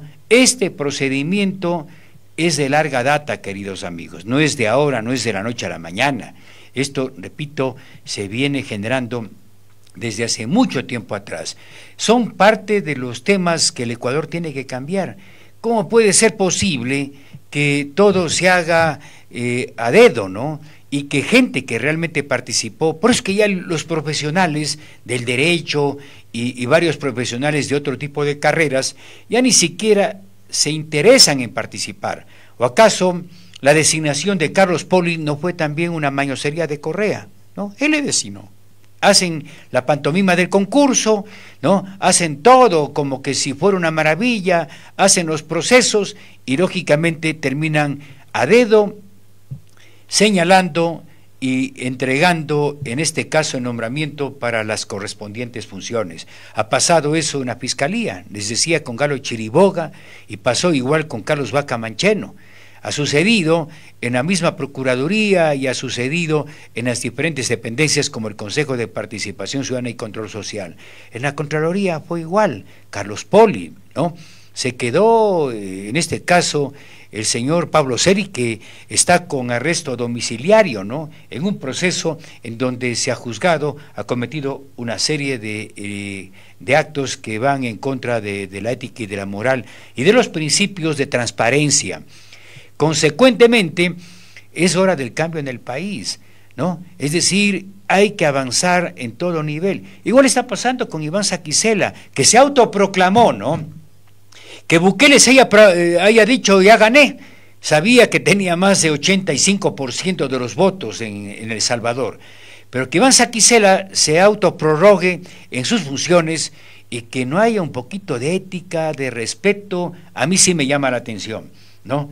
Yo creo que uno debe ser consecuente. Si me eligieron para un determinado periodo, en cualquier tipo de actividad, tengo que dejar, pues, ¿no? Y si es que quieren que me quede, que me nombre, pues el resto, no generar, en este caso, esas triquiñuelas, esos manejos, que el informe de la Procuraduría, que me parece una mañosería. Evidentemente, esos concursos son igual absolutamente en todo, ¿no? Los concursos que se hacen para los contratos en el sector público son igual, son amañados, es decir, se bulan del portal de compras públicas y del proceso, porque detrás de todo tipo de reglamento hay la mañosería en el Ecuador y eso se refleja absolutamente en todo. ¿Acaso no hemos visto cómo se han manejado los concursos públicos para dar contratos para no irnos muy lejos aquí en la ciudad de Cuenca, en los municipios, en las prefecturas, en donde le terminan frustrando a cualquier profesional que quiere ganarse el concurso de una manera transparente y clara. Y lógicamente ahí está el lleve, está el 10%, el 15% para los concursos. Eso tiene que cambiar, ¿no? esto no puede seguir funcionando así. Bueno, escuchemos a Emma Tapia, que se refiere a esta situación, al caso Saquicela, que se quedará posiblemente unos seis o siete meses más en medio justamente de un rechazo mayoritario por parte de las mismas personas que componen la justicia. Y, si nos vamos a méritos, caramba, Saquicela ha dejado mucha deuda en el manejo de la Corte Nacional de Justicia. Escuchemos qué es lo que dijo, me me tomo de la data esta declaración. El día viernes decidimos porque el doctor Saquicela inmediatamente de obtenidos estos resultados quiso que estos seis votos de la doctora eh, Daniela Camacho se le sumen a sus nueve. Dijo que habían hecho un pacto previo, cosa que fue negado por la doctora Camacho, en el que el que tenga menos votos se iba a sumar al de mayoría. La doctora Camacho lo negó, pero además yo pedí la palabra en el Pleno y dije que aquí no se pueden pactar votos como si fuésemos fichas. Si la doctora Camacho en su absoluta libertad quiere sumarse al doctor Saquicela, puede hacerlo, pero mi voto no lo endosa nadie. Y yo dije que yo personalmente no iba a votar por el doctor y que no me sumaba a eso. La doctora Camacho negó este acuerdo y dijo más bien conversemos todos. Suspendimos unos minutos la sesión y esos minutos se han transformado en viernes, sábado, domingo,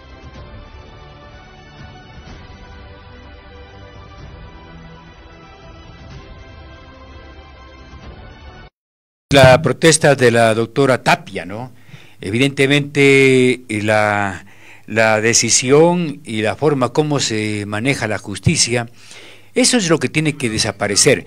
Yo entiendo y no puedo dejar de entender que si a mí me nombran para un periodo, lo ético y lo moral es que diga, ya, pues me voy, ¿no? Eso es lo ético y lo moral, lo que usted señala justamente, Clever. Eh, estar eh, en un tiempo y después sí dar paso a, otras personas, pero no agarrarse con uñas, con muelas, con todo aquello, no, porque acá la, la, la, doctora dice que no ha existido ningún, pati, eh, ningún pacto, de hecho, entre lo que dijo en que yo me voy a allanar hacia lo que diga la mayoría, dice que no ha existido pacto mm, de, ningún tipo. No, pero sin embargo, el, eh, el doctor Saquicera dice que sí hay. Pero claro, más allá de lo que hayan dicho, lo, lo, lo, lo, ético y lo moral, pues debe de marcar, eh, debe de marcar eh, la personalidad de un funcionario de este nivel, Clever, pero no quedarse y decir, muy bien, ahí estamos, eh, ustedes se van porque hay unos jueces que se van a ir y se nombran unos con jueces, se designa con jueces, y decirse a Quisela que no se quiere ir, pues. O sea, es algo insólito que solamente se vive en el país. O sea, eh, eh, es evidente que él está fascinado con el cargo, ¿no? Él tenía hasta aspiraciones presidenciales. Le gusta el poder. Le gusta el poder. A ver, lo que le gusta es estar no de no fuera el radar, lo que le gusta estar es en el radar, le gusta estar en la opinión pública. Imagínese aquí, nomás, la insignia Fray Vicente Solano. Entonces, o sea, eso... Ahí se demuestra la clase de persona que ya le conocemos a doctor Saquicela. Yo no quiero hablar ni voy a hablar mal. Hemos hablado ya en épocas pasadas sobre su paso con el notario Cabrera, de varias cosas cuando fue concejal en el Cantón Cuenca, ¿no? De su proceder. Por eso es que con eh, personajes como Saquicela no aspiremos que la justicia sea transparente, sea limpia y favorezca justamente a los intereses del país. ¿no? Clever, usted lo ha dicho bien claro. Entonces, es en ese asunto, Clever, que se esté marcando el país. Hay un eh, editorial muy bueno que lo genera el doctor José Chalco, ¿no? sobre este tema, sobre este asunto de, las, eh, de, de estas de estas eh, acciones que no que desdicen mucho a las personas y que en este momento que el Ecuador necesita de hecho un cambio pues existen personas que se enquistan en el en, en, el sector de la justicia. Mire dice me encanta el derecho profunda vocación por la justicia apasionado por la cátedra y mi amor al país expresado a través de privilegiar la institucionalidad, los consensos en vez del disenso y siempre mi respeto a mis compañeras y compañeros. No está respetando a sus compañeros, ¿no? Porque esto de autoprolongarse, autodefinirse como el salvador de la justicia en el Ecuador, me parece vergonzoso, Se ve muy mal. doctor Saquicela. Allí Lucho Vintimilla ahí dice, aun cuando, es una, una frase de Joyland, aun cuando aquello a lo que te aferras esté lleno de espinas, es duro soltarse, dice, ¿no? Buena frase, ¿no? Steve King, eh, y la verdad es que esto no puede ser. Yo, que, eh, a ver, si es que Saquicela tendría un amor al país, él debería decir, me voy, ¿no? Me voy, apoyemos. ¿En qué puedo aportar después para que la justicia tenga total y independencia y no esté llena de caminos espinosos. Pero esto, esto desdice mucho, de hecho, de la institucionalidad de, de, la justicia también, que ha sido muy cuestionado y muy criticado, pero sin embargo, a los que se aferran eh, en algo que tiene espinas y sabiendo que duele, no quieren soltarse, pues están acostumbrados a aquello. Y se ve muy mal, sí, se ve muy mal de que alguien mm, eh, se le diga claramente que ya no puede estar y sin embargo se agarre ahí. O sea, este tipo de personas tenemos ahí, por eso importante, de hecho, que peguen una lectura al editorial de José Charco que lo escribió esta semana en el diario El Mercurio. Bueno, aquí tenemos algunas veces hago las manos de la informalidad, pero bueno, no es parte Todavía me imagino, segundo, que estoy en radio, ¿no? Y es lo que más me apasiona. Bueno, el fútbol analiza ya mañana movilización. Mañana hay un plantón a las 10 de la mañana en, los bajos de la gobernación de la provincia de Azuay, en la Asamblea Nacional y en todas las eh, gobernaciones del país. A mí me parece ya que es hora de que también comiencen a recapacitar ¿Qué es lo que están aportando en beneficio a la colectividad? Se oponen absolutamente a todo. No quieren el IVA, no quieren eh, esto, no quieren el otro. En definitiva, pide más dinero para la salud en semejante crisis, más salud para la educación segundo. Veamos. Veamos, por favor, qué es lo que manifiestan las ocho resoluciones que tomó el FUD y la interlocutora es Isabel Vargas, ¿no? Todo eso huele a M Unidad Popular, ¿no? Escuchemos qué es lo que manifestó las resoluciones y luego comentamos. La vida, la salud, la educación, la naturaleza y la soberanía en consideración. Segundo, exigir la implementación de políticas públicas que garanticen la seguridad de toda la población combatiendo la delincuencia, las mafias, el crimen organizado, la corrupción y su articulación con el Estado y el sistema financiero. Exigir la entrega inmediata de recursos económicos para dar servicios públicos eficientes y de calidad así como para el pago de derechos laborales de los trabajadores de los municipios, prefecturas, federaciones deportivas e instituciones públicas que están impagos de sus haberes. Insistir en que se declare emergencia la salud, la educación, oponernos decididamente al recorte presupuestario y a los despidos de los trabajadores. Cuarto, calificar como inoficiosa a la consulta popular por transgredir derechos laborales como la implementación del trabajo por horas, contratos a plazo fijo, así como los derechos de la naturaleza y de nuestra soberanía nacional. Combatir el terrorismo económico y social del gobierno de Novoa su paquetazo económico expresado en leyes, amnistías, creación de zonas francas, alianzas público-privados, eliminación de subsidios, incremento del IVA del 12 al 15%, suscripción de tratados de libre comercio con China que convertirá al Ecuador en basurero. A consideración. Exigir el archivo del proyecto que pone como pretexto la guerra contra la delincuencia y socializar la alternativa económica presentada por el FUD y las organizaciones sociales y populares, como es que los impuestos paguen los ricos. Defender el IES, el Seguro Social Campesino, la derogatoria del Acuerdo 54 que afecta los contratos colectivos. Expresar nuestra solidaridad con el pueblo palestino víctima de genocidio del gobierno sionista de Israel, con la clase obrera y el pueblo argentino que lucha contra el gobierno de ultraderecha de Milei, con los trabajadores de nuestro país que se encuentran en el desempleo, en la precarización laboral y sin pago de sus salarios. Convocar a una acción para este día martes 6 de febrero a las 10 a.m. frente a la Asamblea Nacional para rechazar el incremento del IVA y detener la aprobación del Tratado de Libre Comercio con China. Declararnos en asambleas y movilizaciones permanentes en todo el territorio de nuestro país.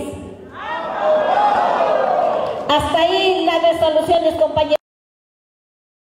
Pasar esto, ¿no? Pero tengo que hacerlo en función al papel que debe cumplir un medio de comunicación. Dicen no a todo, aquí está, ¿no?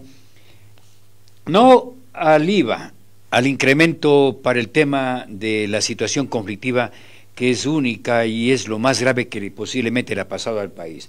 No al Tratado de Libre Comercio, ¿no? Archivar todo tipo de, de proyectos de reforma, ¿no? Económica. No al Código Laboral, quieren con el mismo de 1938, ¿no? No a al, tema, bueno, el tema laboral, no la consulta popular. Entonces, Caramba, ¿qué carajo quieren? Perdone que me exprese de esa manera. ¿Qué es lo que están queriendo? Es decir, no hacen una sola propuesta y siguen hablando el neoliberalismo y la misma cantaleta. Hasta en contra de mi ley están, pues, ¿no? No, es decir, yo no sé qué es lo que proponen. Y el tema es que no tienen ya ni quórum, porque son, eh, perdóname, cuatro pelagatos los que están allí eh, aprobando a gritos eh, entre cuatro eh, a, las resoluciones que toman y mañana van a hacer una movilización. ¿Por qué no reflexionan? ¿no? Más, ah, más incremento de, de recursos que tienen que entregarse, dice, a los municipios y las prefecturas, ¿no? que para mí deben ser también motivo de un estudio especial. Los municipios y las prefecturas manejan una gran cantidad de dinero y en su gran mayoría se destina a gasto corriente, ¿no? Y a cierto tipo de manejo en donde efectivamente las cosas no se están manejando bien. Se habla de que los municipios y prefecturas en el Ecuador manejan cada año 6.700 millones de dólares, que es un montón de dinero. ¿Y dónde está pues eh, el nivel de mejoramiento de los municipios? Solamente el municipio de Guayaquil maneja un presupuesto cercano a los 850 millones de dólares. El municipio, fuera de las empresas. El municipio de Quito, cerca de mil millones. El municipio de Cuenca, entiendo que está entre los 220, 240 millones. Pero el municipio de Cuenca, para que tengan una idea, el municipio y su corporación, hablo de TAPA, EMAG, EMOV, eh, MUS, etcétera, etcétera, maneja más de 600 millones de dólares al año. ¿Ustedes han visto resultados? Me pregunto yo. Y no me remito única y exclusivamente a la actual situación, me refiero años atrás, ¿no? Consecuentemente, creo que es hora de un proceso de reflexión. Pero como dice la, señora Isabel Vargas, que hizo pues eh, en tres minutos y medio, con el aplauso de poca gente, el tema que se relaciona justamente pues a, la situación que se está viviendo, la, la verdad es que la situación es lamentable. No absolutamente a todo, no a la privatización de las empresas, no. Es decir, aquí ni siquiera se está hablando con propiedad, ¿no? Eh, las empresas no se están privatizando, lo que ha dicho en los últimos días Novoa es que se van a mantener, pero que su régimen de manejo va a cambiar desde el tema salarial, la dimensión ¿no? que tienen muchas de estas empresas que sobrepasan la necesidad. Solamente para que tengan una idea, ¿por qué creen que quebró Tame? Aparte de la pésima administración, de la metedura de mano, de los errores en los que se manejó. Mientras un avión, escuchen esto, de American Airlines, un avión, un avión, necesita de 100 personas. Aquí habían 1.300 personas por avión, ¿no? Consecuentemente, no hay empresa que funcione. Entonces, eh, eh, si van a apoyar el mantenimiento de las empresas públicas, den ideas. Aquí, en época de Correa y para quienes defiendan, acabó con correos y dio chance para que empresas privadas le cobren lo que les da la gana, ¿no? Los correos del Ecuador. Eh, en este caso privatizaron las eh, cementeras, Guapán, entre otras, que ya no es de los azogueños, ¿no? Es una empresa que tiene un paquete accionario privado y que en su mayoría fue motivo de una venta. ¿Acaso no quebraron TAME? ¿Acaso no dejaron con una deuda que hasta ahora es impagable de ferrocarriles del Ecuador? Carambas, entonces, hablemos con más propiedad con respecto a lo que está pasando. Consecuentemente, yo sí me lamento estas posturas que, que se tienen y que no nos conducen absolutamente a nada. Consecuentemente, y seguir con esta cantaleta que nosotros de la izquierda frente a la extrema derecha, lo que decía hace un rato, ¿no? Los de extrema derecha y de extrema izquierda aman el dinero, ¿no? Los de derecha y los de izquierda aman el dinero. La diferencia es que los de derecha tienen dinero, ¿no? Y aman al dinero. Y los de izquierda no tienen, pero aman al dinero y quieren tenerlo, ¿no? De allí un montón de ricos que tenemos a nivel de nuestro país, que ya, ya el comunismo, la izquierda desapareció.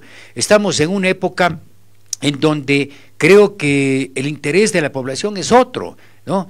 Es decir, comienzan a surgir nuevas ideas, nuevas propuestas. Lo que pasa en Argentina tiene un respaldo. Los parásitos de la burocracia son los que están reclamando. No les importa nada. Un país despedazado quieren seguir en lo mismo, ¿no? Porque ellos son los que se benefician.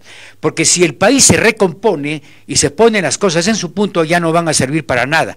dejan de trabajar, se ranclan, no hacen nada, simplemente esa clase parasitaria que también hay aquí en el Ecuador, porque también hay entidades que tienen parásitos, no vayan muy lejos a la Asamblea Nacional, ¿cuántos parásitos hay ahí? ¿no?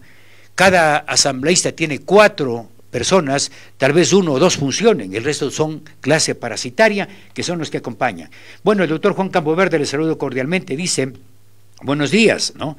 Iván Saquicela, ese primer concurso obtuvo 46 sobre 100 en época del presidente Correa y le dieron cargo de conjuez porque le subieron la nota a 84. Luego, durante el gobierno de Lenín Moreno, participó en el concurso y sacó 77 puntos sobre 100, pidió recalificación y le subieron a 99 puntos sobre 100 y como dictó sentencia condenatoria contra Correa, le dieron como premio la presidencia de la Corte Nacional de Justicia. Esto debe saber el país. Lo que sucede es que Gustavo Yal dejó encriptado los exámenes y las notas de los dos concursos para que nadie pueda revisarlos. Esto es lo que dice Juan Verde, yo le creo Juan Verde, ¿no? Es bien informado. Ahora también de la doctora Tapia, quien también criticó a Iván Saquicela. Bueno, ella dice que tampoco es la persona más adecuada, era correísta a muerte y así llegó a ser jueza. Saludos cordiales. Dice finalmente la mayoría de jueces y fiscales que hoy ocupan los cargos fueron y siguen siendo correístas y entraron en la venta. Por eso es que hay que cambiar todo esto. Por eso es que la propuesta de, nuevos concursos, de jueces incluso sin rostro, para que de alguna manera no sean presa del narcotráfico y de los delincuentes, es un tema que tiene que darse. Yo aspiro a que las cosas vayan cambiando, ¿no? Todavía hay rezagos fuertes. El trabajo de, del doctor eh, Álvaro Román en adjudicatura en vez del pillastre de del señor eh, que lleva su nombre, eh, es evidentemente una situación complicada, ¿no? Dice, no de mi nombre, ¿no? no se preocupe, doctor Juan Campoverde, es hora de que todos seamos más francos y digamos las cosas como son. Porque caso contrario, el país va a seguir así. El país va a seguir avanzando en una situación realmente triste, complicada, que no nos lleva a nada. Vamos, antes de pasar con con, eh, para evacuar ese tema, porque me parece interesante escuchar a Bukele qué es lo que manifestó, ¿no? ¿Qué es lo que manifestó el, el presidente Bukele? Y les paso un dato más sobre cómo están los resultados en las elecciones que están siendo contabilizados papeleta por papeleta, y así debe ser. Vamos con alguien que no, tampoco me gusta pasar, pero tengo que criticarle para que la gente se dé cuenta que ser asambleísta, el escenario de la asamblea es un escenario tal vez con honrosas excepciones de gente ignorante. Escuchemos a Mónica Palacios, ¿no? que está en contra del IVA, que está en contra ya, ya le está criticando a Daniel Novoa. Yo no sé qué pretende, es una chica cuencana, la, señora vive en Estados Unidos y manifestó lo siguiente, dice que presenta, eh, que presenta un proyecto ¿no? de oferta, entre otras cosas, para... Eh, allí no entiendo. Vamos a escuchar, porque habla del seguro social, de generar un proyecto para atención médica a los hermanos ecuatorianos residentes en el extranjero, que son casi tres millones y medio. ¿Qué es lo que dijo Mónica Palacios?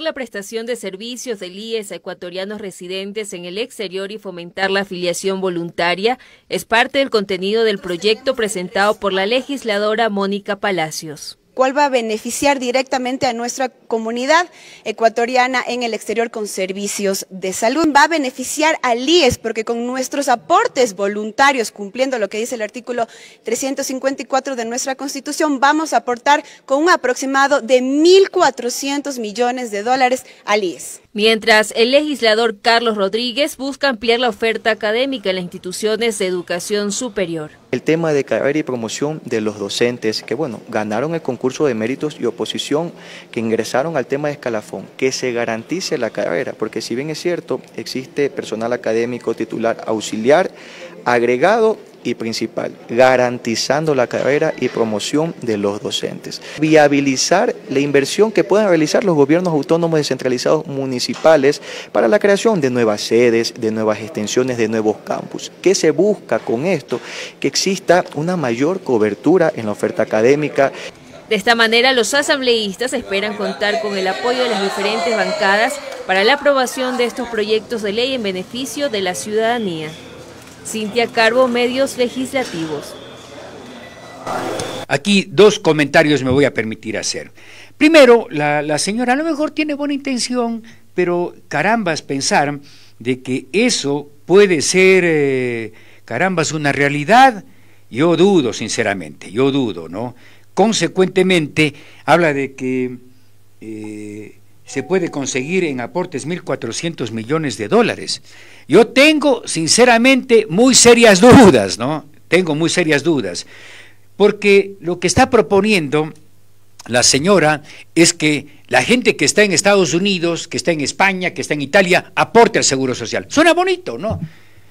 Lo que no entiende la señora eh, Palacios, que lógicamente me tiene a mí bloqueado desde hace años, ¿no? Lo que no entiende es que los costos, ¿no? Eh, de, tratamiento médico, y Lucho Vintimilla sabe muy bien, ¿no? Está, estamos aquí eh, conectados, es un costo altísimo, a tal punto que hay mucha gente, migrante, incluso gringos, que se vienen acá para una operación, solamente para que tengan una idea, ¿no? Una operación de, un amigo eh, se vino a operar hace un par de meses de las varices, ¿no? Digo, ¿y por qué no te operas allá? Vale 12 mil dólares, dice, ¿no? ¿Acá qué vale? 1.500, ¿no? Entonces hay una diferencia marcada. Lo que no entiende la, señora Mónica, o señorita Mónica Palacios, es el hecho de que ella lanza un proyecto que no tiene ni pies ni cabeza, ¿no? Ella está diciendo que los extranjeros o los hermanos eh, ecuatorianos residentes en Estados Unidos aporten al Seguro Social y ella dice que va a sumar cada año 1.400 millones. No sé cómo estar haciendo el cálculo, ¿no? Dice que son 1.400 millones que aporta.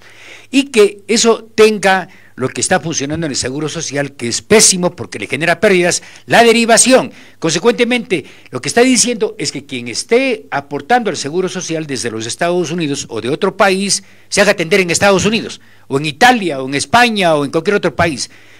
Eso le quebraría al Seguro Social ya más de lo que casi está quebrado. Consecuentemente, no es buena idea, no es, no es un criterio que tenga la solvencia suficiente ni el criterio técnico. Es simplemente cuestión de sacar como conclusión que, lógicamente, lo que está queriendo la señora sería diferente que, que, se impulse un proceso de, de, de afiliación a nivel local, ¿no? a nivel de nuestro país el tema de seguro social es un tema muy crítico que ya habrá la oportunidad de analizarlos en medio del tema que estamos viviendo actualmente. Pero eso es lo que propone. Y el otro asambleísta, que se llama Carlos Rodríguez, igualmente dice que hay que aumentar cupos ¿no? en las universidades. Las universidades también están o tienen que entrar en terapia intensiva. Las cosas no están funcionando bien, las cosas no están bien en las universidades. En la, la Universidad de Cuenca, así no me saluden, algunos andan bravos, ¿no? Es el centro o desde el rectorado y todos los cargos eh, más populares, de canatos y asesoramiento son de correístas, ¿no? Y ha dado los nombres, se molestan, y eso le significa a la universidad más de 50 mil dólares en salarios mensuales, ¿no?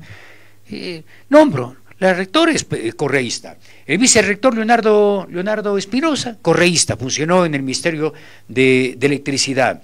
El asesor, Henry Calle, correísta, ¿no? Asesor de la rectora. María Augusta, María Augusta Muñoz, asesora, ¿no? ¿Qué otra? Estoy hablando de memoria. María Fernanda Espinosa, asesora, todos son del correísmo. Está Rosana Alvarado, está Tito Astudillo, está David Acurio, su hijita, entonces, ¿no? ¿De qué estamos hablando? Aquí hay una lista larga, ¿no? Y habrá la oportunidad porque la universidad se desenvuelve en una situación crítica, ¿no? A tal punto que varios informes dan cuenta que la Universidad Católica de Cuenca le está superando ya la Universidad de Cuenca. Será cierto, pero hay, personas que dicen que hay un estancamiento académico, eh, de organización, de, de, estudios, de aportes que daba la prestigiosa Universidad de Cuenca. Y habrá oportunidad de conversar más sobre este tema. Estamos ya con ese videito que le mandé. Ponga ese video. ¿Qué creen que es ese video? No? Miren lo que están haciendo, ¿no? Carambas, es evidente eh, ¿Sí saben qué es lo que están haciendo ahí? Una piscina, ¿no? ¿Y quién está? ¿Sí ven allí quién está? ¿Ah? ¿Sí ven quién está allí? Y la verdad es que me sigue generando dudas mientras las carreteras están llenas de hueco, el caballerito ¿no? que es el prefecto de la provincia de la SUE, que no le gusta que le critiquen para nada. Lo estamos haciendo justamente con respeto. El tema es de que en este momento dice, estamos con la cuenta regresiva para el carnaval, que está haciendo una piscina, ¿no? Miren, eh, está con geomembrana, está el, eh, el, prefecto haciendo una piscina para, para... Ah, no, ahí está la propaganda, carnaval, bacán, sote, yunguilla, así se llama, ¿no? Deje de fastidiar la vida, dedíquese a arreglar el tema de las vías en el nivel de la provincia de la Suay, ¿no? Está con, eh, yo diría, con una postura, claro, le, le aplauden, ¿no? Estamos trabajando y ultimando detalles para brindarle un espectáculo como la SUAI se merece, dice, ¿no? ¿Cuánto creen que cuesta eso? Ya vamos a averiguar. Pero se siguen desviando los fondos, señor Llored, ¿no? No sea tan populista, ¿no? Ese mismo dinerito pasemos un poco esta época difícil, ¿no? Yo no estoy en contra de las fiestas. Además, en Yunguilla toda la vida ha habido fiestas, ¿no? Toda la vida ha habido fiestas. Yo soy hasta vecino de, de, ya de, del Valle de Yunguilla. Eh, tenemos una pequeña propiedad desde hace ya 30 años, ¿no? Y siempre han habido fiestas, siempre han habido fiestas en todas las partes, ¿no? En la Unión, eh, en San Fernando, todo eso, la gente farrea que da miedo, ¿no? Y todos los negocios, la molienda hace fiestas, ¿no? Y usted eh, está utilizando recursos sábado 10, sector de la Yunguilla, de Yunguilla, dice el carnavalazo, ¿no? Así es que no voten así dinero, ¿no? A mí me choca porque yo creo que hay otras necesidades que van de la mano de lo que la misma gente de Yunguilla, ¿no? Si se va al sector de la Unión, hay llena de huecos, ¿no? Consecuentemente, en el sector de Gualdele, ¿no? Es lleno de huecos, entonces, pobre carrito, no hay ese tipo de arreglos. Entonces, lo que usted busca es popularidad, ¿no? Lo que usted busca es tener presencia. Ya está contagiado también del alcalde, pues, ¿no? Es decir, la fiesta eh, es buena, por supuesto que es buena la fiesta, las fiestas son buenas, pero cuando evidentemente esta situación que se está generando, evidentemente muestran eh, una situación que, pone de manifiesto eh, esta actitud que asumen, se quejan de que no hay plata y están haciendo piscinas, están haciendo infraestructura, eso es lo que yo no entiendo, ¿no? Que no hay plata, uno dice que vamos a tener que pagar de del dinero propio del municipio para pagar el sueldo, el otro que no hay dinero y que van a quedar en, eh, a, la espera. En lo primero que les pone dinero ya comienzan a hacer este tipo de actividades, consecuentemente, repito, no estoy en contra de las fiestas. Además, Yunguilla siempre ha tenido fiestas, yo soy vecino 30 años en el Valle de Yunguilla. Toda la vida ha habido fiestas en Yunguilla, ¿no? Y han sido fiestas en donde las cosas se han manejado de muy buena manera. Pero seguir mal utilizando el dinero, créame que a mí me, me, pone en una estoy haciendo esta propaganda gratis ya, ¿no? Consecuentemente hay que tener un poquito de tino, es una época crítica para el Estado, las arcas están vacías, el, el, Estado incluso tiene que tratar de solventar las, los problemas eh, o la falta de transferencias a las prefecturas y municipios emitiendo bonos, ¿no? Y la verdad es que vemos este tipo, hagamos nomás este tipo de situación, gracias por este informe, Lucho. En todo caso, es importante este tipo de colaboración y destinar todo el equipamiento de la prefectura. La verdad es que hay que tener un poquito de conciencia, Lloret, ¿no? Que hay lugares en donde hay, en vez de una vía, hay laguna de patos, ¿no? Y eso les molesta, lagunas de patos, que son los que están generando esta dificultad. Vamos con, con Bukele, ¿no? Bukele, a ver, hasta este momento, eh, estoy receptando aquí justamente los datos, Bukele ya ganó de una, yo diría, un triunfo nunca antes visto, ¿no? Nunca antes visto, porque evidentemente ganar con casi 85, 86% una votación eh, no es tan sencillo. Es decir, es un resultado, yo diría, nunca antes visto.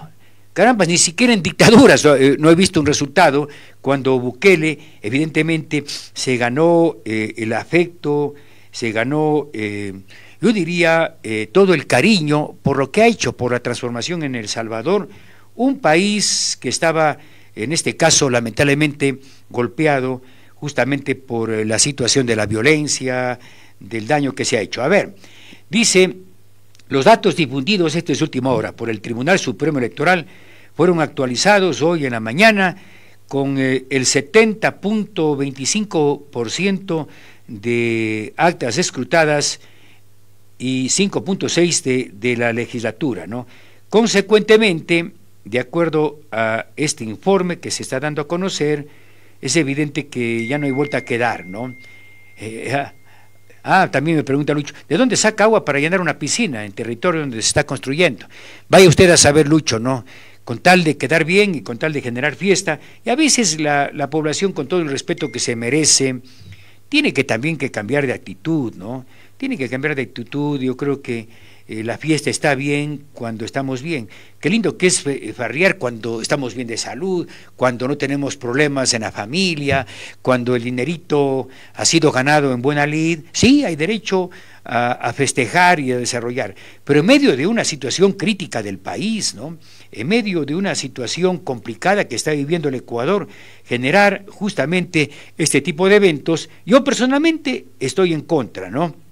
Y la verdad es que esta situación pone de manifiesto esta actitud irresponsable de los dirigentes. Pongamos a Bukele. Bukele ayer salió y al balcón, él eh, mostró una encuesta de, eh, un exit poll hecho a boca de urna por parte de la prestigiosa encuestadora Gallup, ¿no? Allí mostró justamente, o dijo sus resultados, hablaba de un 85-86%. El que le sigue con siete puntos, ¿no? Es decir, miren la diferencia.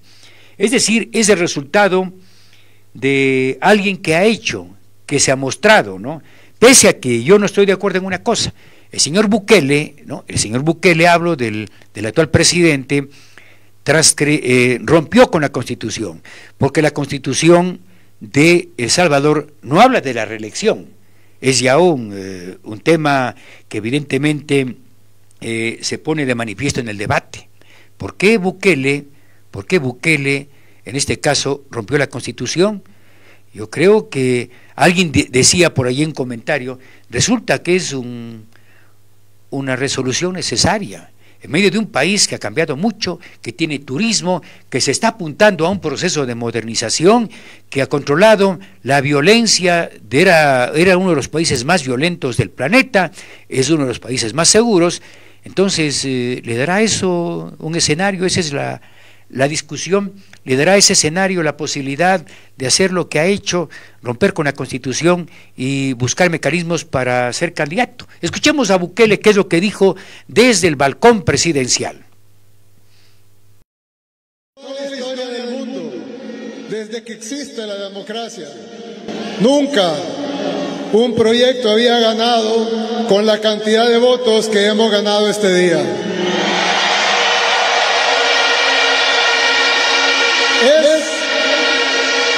Es, literalmente el porcentaje más alto de toda la historia.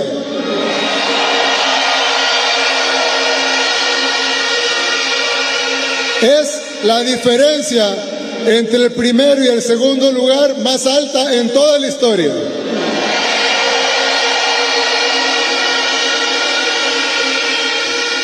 Y no solo hemos ganado la presidencia de la República por segunda vez, con, el, con más del 85% de los votos,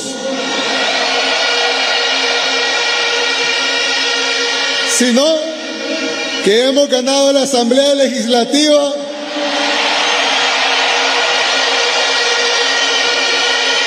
con 58 de 60 diputados.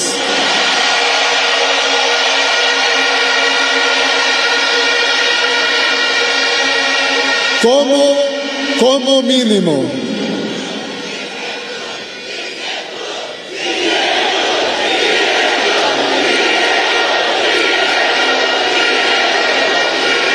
Claro que se pudo. 58 de 60, como mínimo. Es posible que sea más.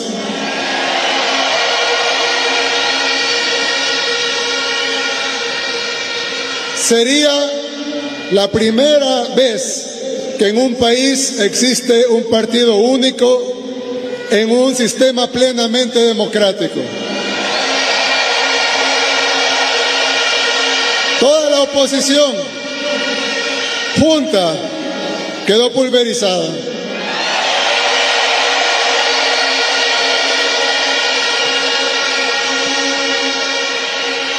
El Salvador este día ha vuelto a ser historia.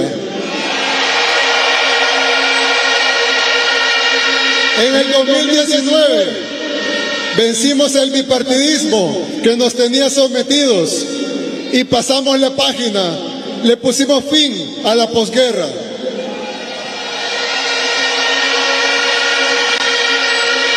Pero no teníamos gobernabilidad. ¿Recuerdan cómo peleamos con la Asamblea en ese tiempo? No dejaban que hiciéramos nada bueno para el pueblo. En el 2021, ustedes nos dieron no una mayoría simple que decían que era imposible lograr, sino la mayoría calificada en la Asamblea Legislativa, con la que pudimos, con la que pudimos el pueblo salvadoreño con sus representantes sacar a la sala de lo constitucional anterior, sacar al fiscal general anterior,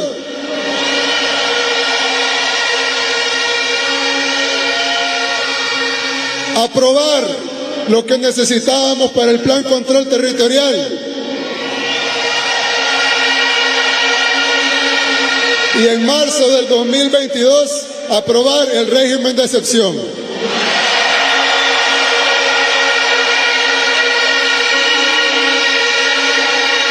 Dicen, dicen los que, algunos que no viven en nuestro país, que no conocen El Salvador, que nunca han pasado aquí ni siquiera en una escala en el aeropuerto.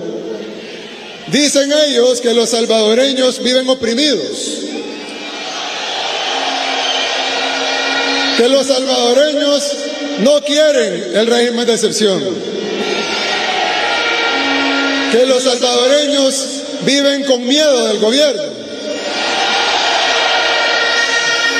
Y yo les digo a los periodistas que nos acompañan esta noche, en total libertad, en total seguridad, aquí en el país más seguro de todo el hemisferio occidental.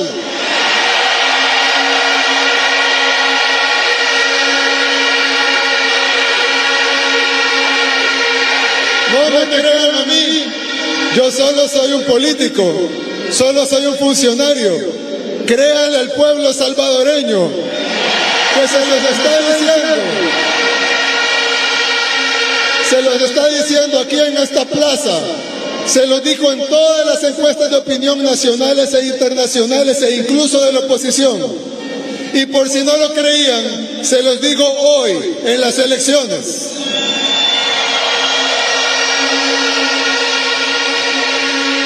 El pueblo salvadoreño habló. Y no solo habló fuerte y claro, sino que habló de la manera más contundente en toda la historia de la democracia en el mundo entero.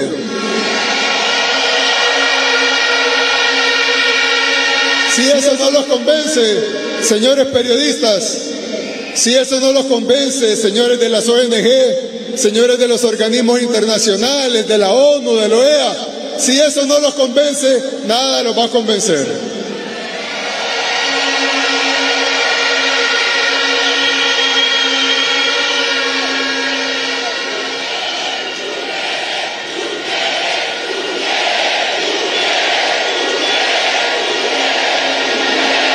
Gracias. El pueblo salvadoreño habló. ¿Y qué dijo este día? El pueblo salvadoreño dijo, queremos continuar el camino que llevamos. Me decía, me decía un periodista español, un saludo a todos los amigos españoles buenos. Me decía un periodista español de un periódico bueno, lo país. Me decía un periodista español, ¿por qué quieren desmantelar la democracia? Y yo le dije, pero ¿de qué democracia nos estás hablando? Democracia significa el poder del pueblo. Demos, demos y kratos. De ahí viene la palabra democracia. Demos y Kratos. Demos significa pueblo y Kratos significa poder. Significa el poder del pueblo. Y si el pueblo salvadoreño quiere esto, ¿Por qué va a venir un periodista español a decirnos lo que los salvadoreños tenemos que hacer? ¿De qué democracia habla? Él habla de la democracia que le dicen sus jefes allá en España. Pero esa no es democracia. Esa sería colonia, imperialismo, elitismo, plutocracia, pueden llamarle como quieran, pero no se llama democracia. Porque la democracia es que los salvadoreños decidimos cómo los salvadoreños nos queremos autogobernar. Los salvadoreños escogemos nuestro camino. Los salvadoreños queremos ser amigos de todos. Los salvadoreños amamos España, Europa y todos los países de Estados Unidos. Los amamos y los respetamos. No les pedimos nada. No les pedimos dinero, no les pedimos donaciones, no les pedimos ayuda internacional, no les pedimos nada. Lo único que les pedimos es respeto.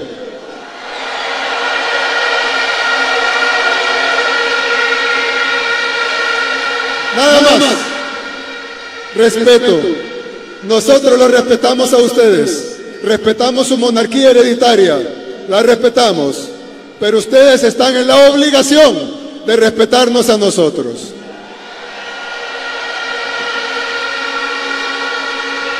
Y dije el amigo español por poner un ejemplo, pero aplica para todos los países del mundo. El Salvador quiere hacer comercio con todos. El Salvador quiere que todos vengan a visitarnos. El Salvador abre las puertas de par en par para los ciudadanos de todos los países del mundo. Queremos que vengan, que nos visiten, que nos conozcan. Queremos ser sus amigos, sus aliados, sus socios. Lo que no vamos a hacer es sus lacayos.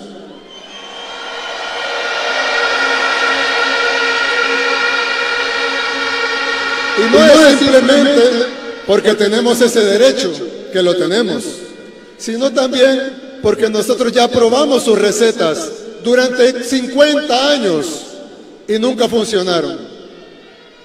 La guerra inició oficial, la guerra civil salvadoreña que dejó más de 85 mil salvadoreños muertos y un millón de desplazados.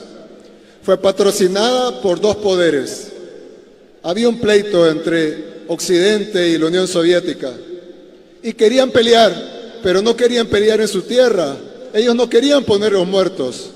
Entonces decidieron pelear en otras partes del Fue un discurso a su estilo. Eh, es un hombre muy sencillo, que, expresa eh, sin ningún tipo, yo diría, como suelen eh, por lo general desarrollar los políticos, suelen tener, yo diría, una estructura de su discurso. Aquí habla lo que siente, lo que dice, como lo ha hecho en este proceso.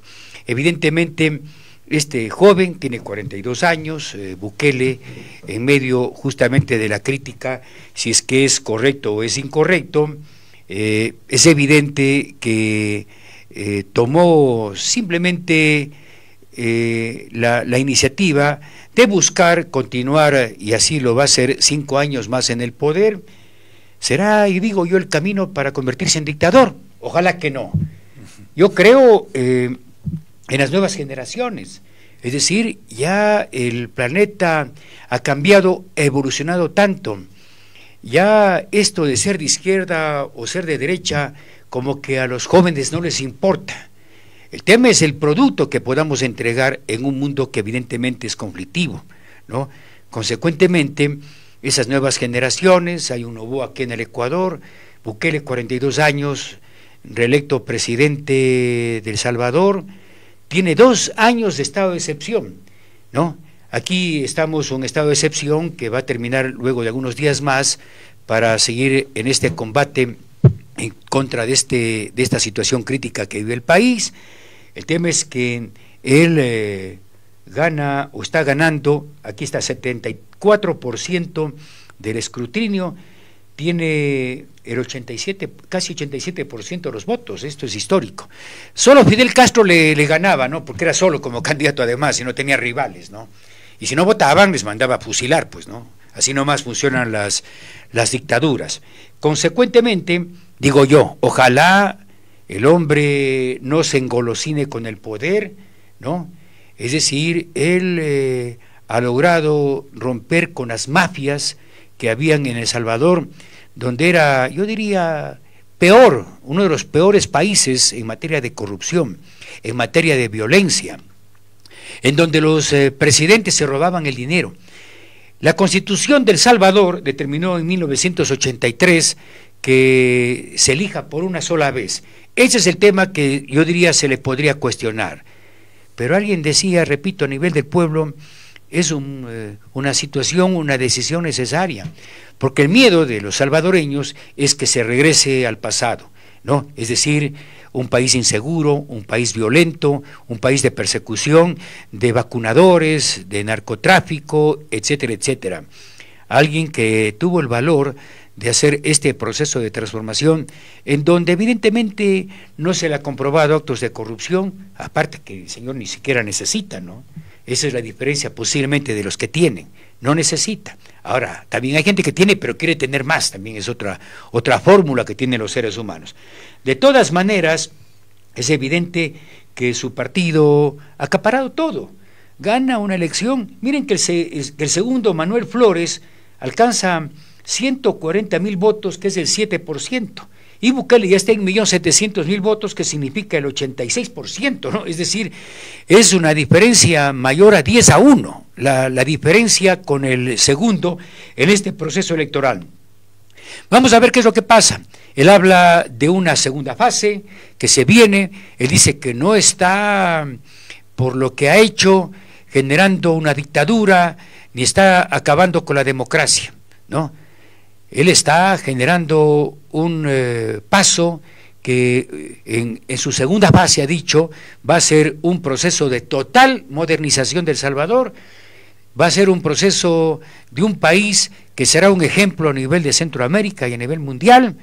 Él eh, no deja de sentirse satisfecho de que países como Argentina, entiendo que Ecuador igual, países que como Chile le piden eh, asesoramiento, ¿no? Es increíble. Oiga, ¿cómo mismo está haciendo el asunto para frenar la arremetida de la delincuencia que están bien donde deben estar los delincuentes en la cárcel, ¿no? Y la verdad es que esta situación ha puesto de, manifiesta, eh, de manifiesto varios escenarios. Es el cambio generacional de políticos, vamos con eh, una nueva línea en donde las ideologías tendrán un segundo plano. Claro, dice el doctor Juan Coverde, los presidentes Erdogan de Turquía, Putin, han ganado las elecciones con el 90%, pero son ellos nomás los candidatos, pues, eh, ¿no? Y la verdad es que allí está la gente sometida. Pero claro, hay dictaduras y dictaduras, ¿no? Erdogan no se va a comparar con Maduro, pues, ¿no? Erdogan es un dictador, igual eh, en Bielorrusia hay un dictador que evidentemente ya creo que está en el poder 22 años, ¿no? Y en el caso de Rusia, que es un país, es una potencia mundial que viene capitalizando esa potencia ya desde hace más de 100 años, ¿no? Es decir, es otra la historia. Alguien decía, un venezolano decía, oiga, yo no creo en los dictadores, pero por lo menos si el señor es dictador, no haga lo que está haciendo, despedazando un país, pues, ¿no? Evidentemente, esa es la percepción ciudadana. Bueno, ponga un tuit, por favor, ponga un tuit.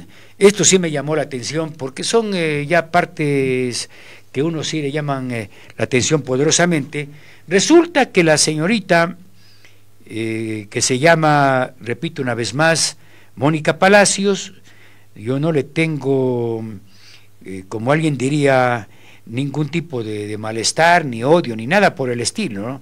Simplemente, a mí me parece que, que mencionada señorita, eh, tiene un total desconocimiento de lo que pasa. Eh, pone este tuit que ustedes están viendo, ¿no? Me voy a permitir leer y hacer un pequeño comentario. Eh, está manifestando, ¿no? En este tuit, la señorita dice, Mónica Palacios, ella primero comenta, Diario El Expreso pone abajo, hubo una, una charla que yo la seguí y me pareció muy buena.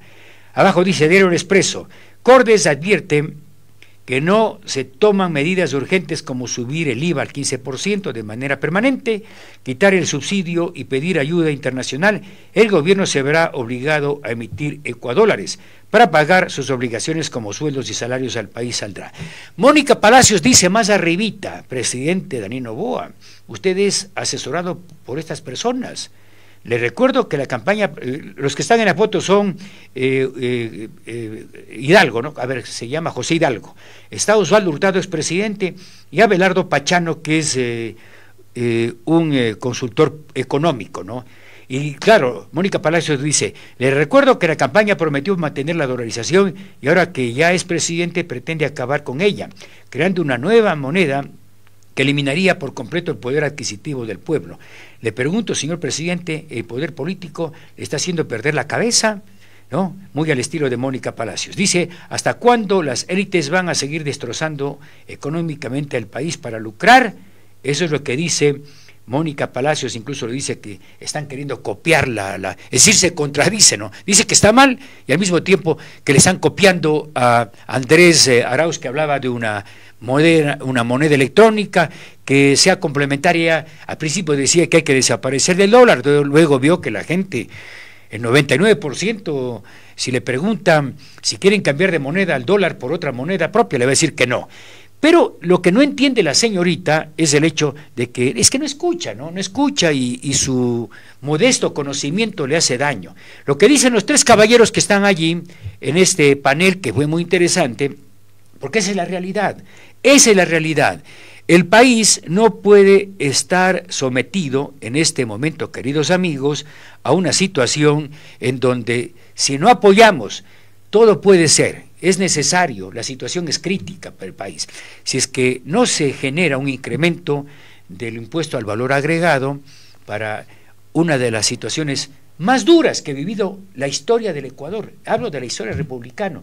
Lo que estamos viviendo es una confrontación a la delincuencia organizada, al narcotráfico, ¿no? que se ha tomado el país. Esto es peor que la guerra de Paquilla, peor que el terremoto de, Manabí, ¿no? es decir, las consecuencias ¿no? que ha dado esta situación que estamos viviendo. Y la verdad es que lo que vive es peor que la pandemia, créanme, ¿no? Consecuentemente, hay que preguntarle al correísmo y a la señora Mónica Palacios por qué en el terremoto subió el IVA. Correa subió, si se acuerda, ¿no? Subió, hasta se robaron la plata, que es peor todavía. Subió dos puntos, ¿no?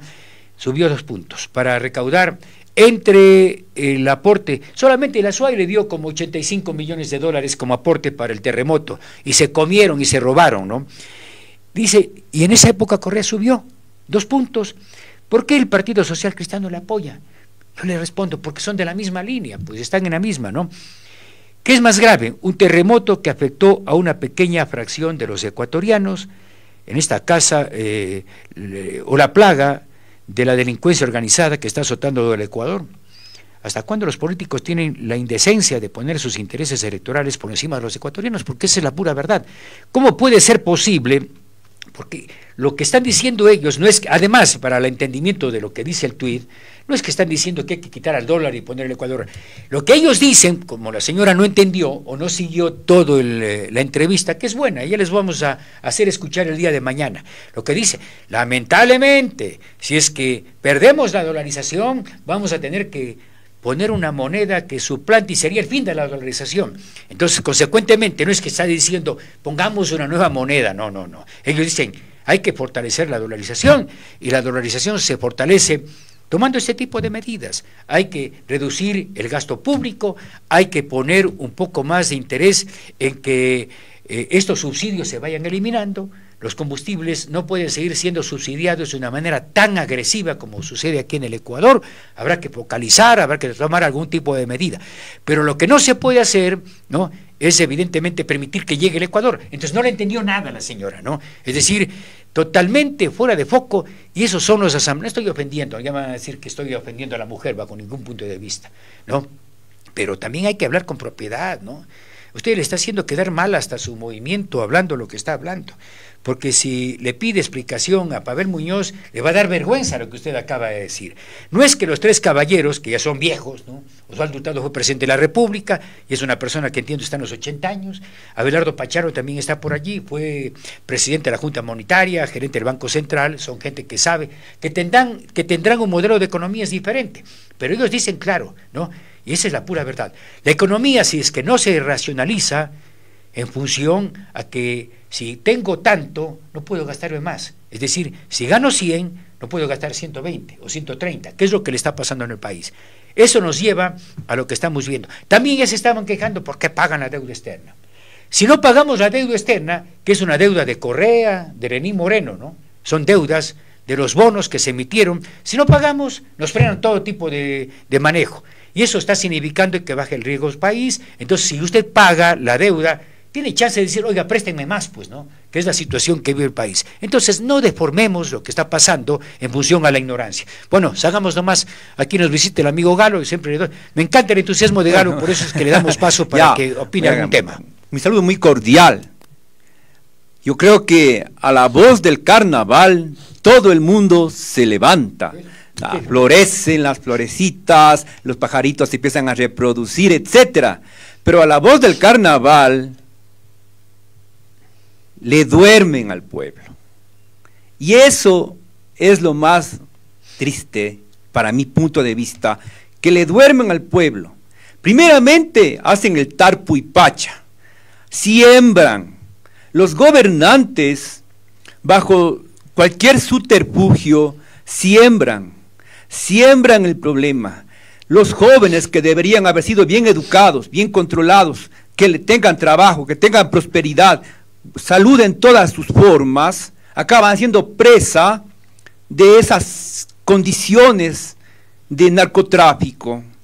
Y luego le ciegan al pueblo joven para crear una imagen que no es tan cierta, porque cuando uno mira muy a profundidad algo que ni siquiera está en un cuadernito o libro que nos dio el Señor Correa a todo el mundo, que se llama Constitución, no está la democracia. Porque si uno mira cómo se estructura el mundo en que nosotros estamos viviendo en este planeta, vamos a ver que hay organizaciones, hay constituciones, como en algo tan infantil como es en ese mundo tan maravilloso que nos da de comer todos los días. Estoy hablando de las abejas. Sin las abejas no hay pan, saben muy bien, ¿no es cierto? Y en esa estructura hay bastante democracia, porque una reina dura cinco años y luego el pueblo decide, o la reina se va a formar otro panal o forman otra reina. Así es, esa es la democracia hay que ampliarse un poco más, también en las hormigas y también en lo amplio de la vida. Nacemos, crecemos, a veces nos reproducimos y morimos. Y ahí está el asunto. ¿Cuándo entenderán los gobernantes que posternarse en el poder, hacer monarquías camufladas, semimonarquías, eh, monarquías, etcétera, no está bien. ¿Hasta cuándo el séquito y el rey van a seguir?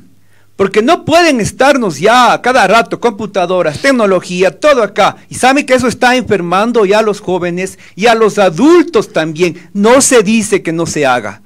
¿Hasta cuándo, digo yo, estaremos viendo esto? ¿Hasta cuándo yo podré ver esto? Porque realmente aquí algo se está haciendo bien y eso no se felicita a ningún gobernante, se felicita a quienes tienen ideas desde lo anterior para que vayan de alguna manera acabando con este problema, con este problema que han creado anteriores gobernantes más que todo de aquel señor muy conocido, que inclusive se las hace de chavo, y el señor que está ahorita ahí en el puesto, en el trono, se le hace de, de Kiko, con sus sainetes, que hacen chistes, que hablan en inglés. Oiga, aquí tenemos jóvenes que no solamente deberían hablar un idioma, pero el idioma más importante es el idioma del amor, del cariño, de la ternura, que no se siembra en estas juventudes. Sí, ese amor es el más importante. Nadie dice que no se explote algún punto, en algún punto el petróleo, la minería, pero aquí se lo quieren comer todo ahorita con un rey supremo, que estoy totalmente equivocado, el señor Xi Jinping, porque él es el que está detrás de toda esta situación. Me duele decirlo esto y hasta me da miedo, pero yo lo veo así y eso hay que cambiar. Veamos este carnaval acá, no solamente desde el punto de vista, porque desde el punto de vista histórico, este joven analfabeto, perdón que lo diga, yo viví desde los cuatro años lo que era aquí, eh, eh, lo que era el mercado 10 de agosto, porque yo caminé por ahí. Hoy, estas esquinas a veces eran un depósito de heces fecales, los chanchos comían ahí mismo, todo era una nota, una cosa nauseabunda, ahí la gente compraba, el desorden en los mercados, y ahora que intimiden a esas personas que salen, a veces mayores, a tomar el sol, a vender sus productos a lo mejor agroecológicos, salen ahí y que estos guardias increpen a estas señoras, a mí sí me duele, aunque tienen, a lo mejor las leyes les asisten a ellos. Bueno. Pero hay algo más, hay algo más. ¿Por qué no promocionan realmente estos mercados? ¿Por qué no promocionan la salud de los niños? Y no solamente les dan eh, algunas cosas que les dan en un kit y no les dan diario esos alimentos que necesita para que esos huesos sean fuertes, para que esos músculos crezcan sanos, con valores, con, con identidad de ser personas de valor. Perfecto, gracias al amigo Galo. En lo que yo no voy a estar de acuerdo es en las ventas callejeras. Ahí no. Ahí el municipio tiene que organizar, tiene que buscar sitios adecuados para no ver eh, la, la, ciudad invadida de tantas ventas ambulantes. Y no se trata de pena, ¿no? Porque yo creo que sí se valora una persona que saca sus pocos productos a vender, pero no tiene que ser en la calle. Y es responsabilidad del municipio. No lo ha hecho. Estamos en una situación difícil, precaria, en donde incluso el hecho de vender productos en la calle es un atentado a la salud. Consecuentemente, rogamos al municipio, ya el alcalde se pronunció de que este tema iba a solucionar, de que iba a construir tres plataformas para que las personas vendan en buena hora. Ojalá que así sea y le demos a todo el pueblo la oportunidad de vender eh, sus productos, pero en buenas condiciones de protección, sanitarias y que nos acostumbremos a pensar de que si no hay orden en la ciudad, hay que seguir eh, pensando de que cada actividad o que cada escenario tiene una utilidad. Las aceras no son para el ciclista, no son para las ventas ambulantes, es para el peatón. Los mercados son para las ventas, las plataformas también son para las ventas. Consecuentemente, hay un desorden en la ciudad de Cuenca impresionante. A mí me da, tanto dinero se, se votó, porque no hay otra palabra, nosotros siempre nos habíamos opuesto por ejemplo, a, las ciclovías, porque la gente utiliza muy poco la bicicleta, ¿no? Es un poco más atractivo, no es una herramienta diaria para movilizarse de aquí al trabajo, además las características de Cuenca no dan para ello. Pero, ¿qué es lo que pasa? Las ciclovías son estacionamientos ahora, ¿no? Se estaciona y si uno reclama, te quieren insultar o te sacan el dedo del medio de la mano, ¿no? Señoritas que actúan de esa manera. Entonces, lo que exigimos es orden, que las cosas vayan por su escenario. No puede ser posible que tú estás caminando por la calle y un ciclista te vaya soplando. Eso no está bien. ¿Algo más decir? Sí, pero estoy ah, dando a entender que el asunto es la promoción de los mercados y el consumo para que estas señoras que salen sus, sacan sus productos vendan a las señoras que están arriba, inclusive en puestos desocupados, y para que si la gente más consume, si la gente consume productos sanos, leches sanas, alimentos sanos, ellas van a ser proveedoras de estas personas. Hay que organizarse, porque la gente va a consumir, hay, hay consumir, perdón, porque hay que organizar realmente la salud del pueblo, de los niños, de los adultos, en todos los niveles, porque si no hay esa visión realmente de, de pueblo, de ciudad, de Estado, un Estado bien configurado, donde la democracia se obedezca, la democracia está en una constitución, en este librito, en una constitución. Ahí el pueblo, sea de derecha o izquierda, el partido que llega al poder tiene que obedecer a la constitución y no solamente obedecer a sus intereses. Perfecto, gracias amigo Galo. Allí le mando una fotografía ya en la parte final, Eddie, a ver si la mostramos. Lamentablemente siguen los problemas eh, en la zona de Moyaturo, ¿no? Siguen los problemas de Moyaturo y evidentemente, ya les vamos, eh, cuando pueda le pone esa fotito, ¿no? Porque evidentemente eh, siguen los problemas viales. Esto, carambas, es de larga data, lamentablemente, ¿no? Se informa por parte de la Comisión de Tránsito del Ecuador que se cierra la vía Cuenca-Moyeturo, el empalme, debido a un socavón cerca del kilómetro, ahí está la foto, kilómetro 90. Producto de la intensa lluvia, se recomienda tomar rutas alternas. ¿Cuándo va a terminar esta historia? Miren, esa es la foto. Gracias también a Cristian Sánchez, gracias también a Lucho Vintimilla que me ha enviado esta fotografía. Consecuentemente, si quiere irse a la costa, tiene que dar una vueltón nuevamente, ¿no? ¿Hasta cuándo? Señor prefecto, ¿no? Yo sé que no está en sus manos porque tampoco tiene el dinero, pero algo vayamos haciendo. En vez de estar haciendo una piscina para carnaval, vaya y, pongamos ya algún tipo de propuesta para cambiar la realidad. Yo creo que la SOE tiene que levantarse, pero tiene que levantarse de una manera firme. Exijamos, por ejemplo, que nos den parte de los impuestos que damos los azuayos al Estado ecuatoriano. Yo digo, nos contentaríamos con un 20% en los próximos 10 años y que todo ese dinero se utilice para el tema vial. ¿Cuánto puede ser eso? Un cálculo. Aportamos casi 800 millones cada año. 20% son 160, ¿no? 1.600 en 10 años. Solucionamos el tema vial. O pidamos una... Tenemos cinco generadoras eléctricas, pidamos una comisión de, las eléctricas. El ASOY aporta casi el 38% eh, de energía eléctrica para el país y no nos dan nada, no nos dan absolutamente nada. Ahí está la foto, eso es lo que está pasando, kilómetro 90 Consecuentemente, si va a viajar a la costa, ya sabe qué es lo que tiene que hacer. No puede irse en este momento. Esta es información que estamos generando de última hora, queridos amigos. Nos despedimos. Gracias por acompañarnos. A ustedes, eh, saludos cordiales a todas las personas que nos han acompañado. Y como siempre, que tengan una muy buena semana. Muy buenos días.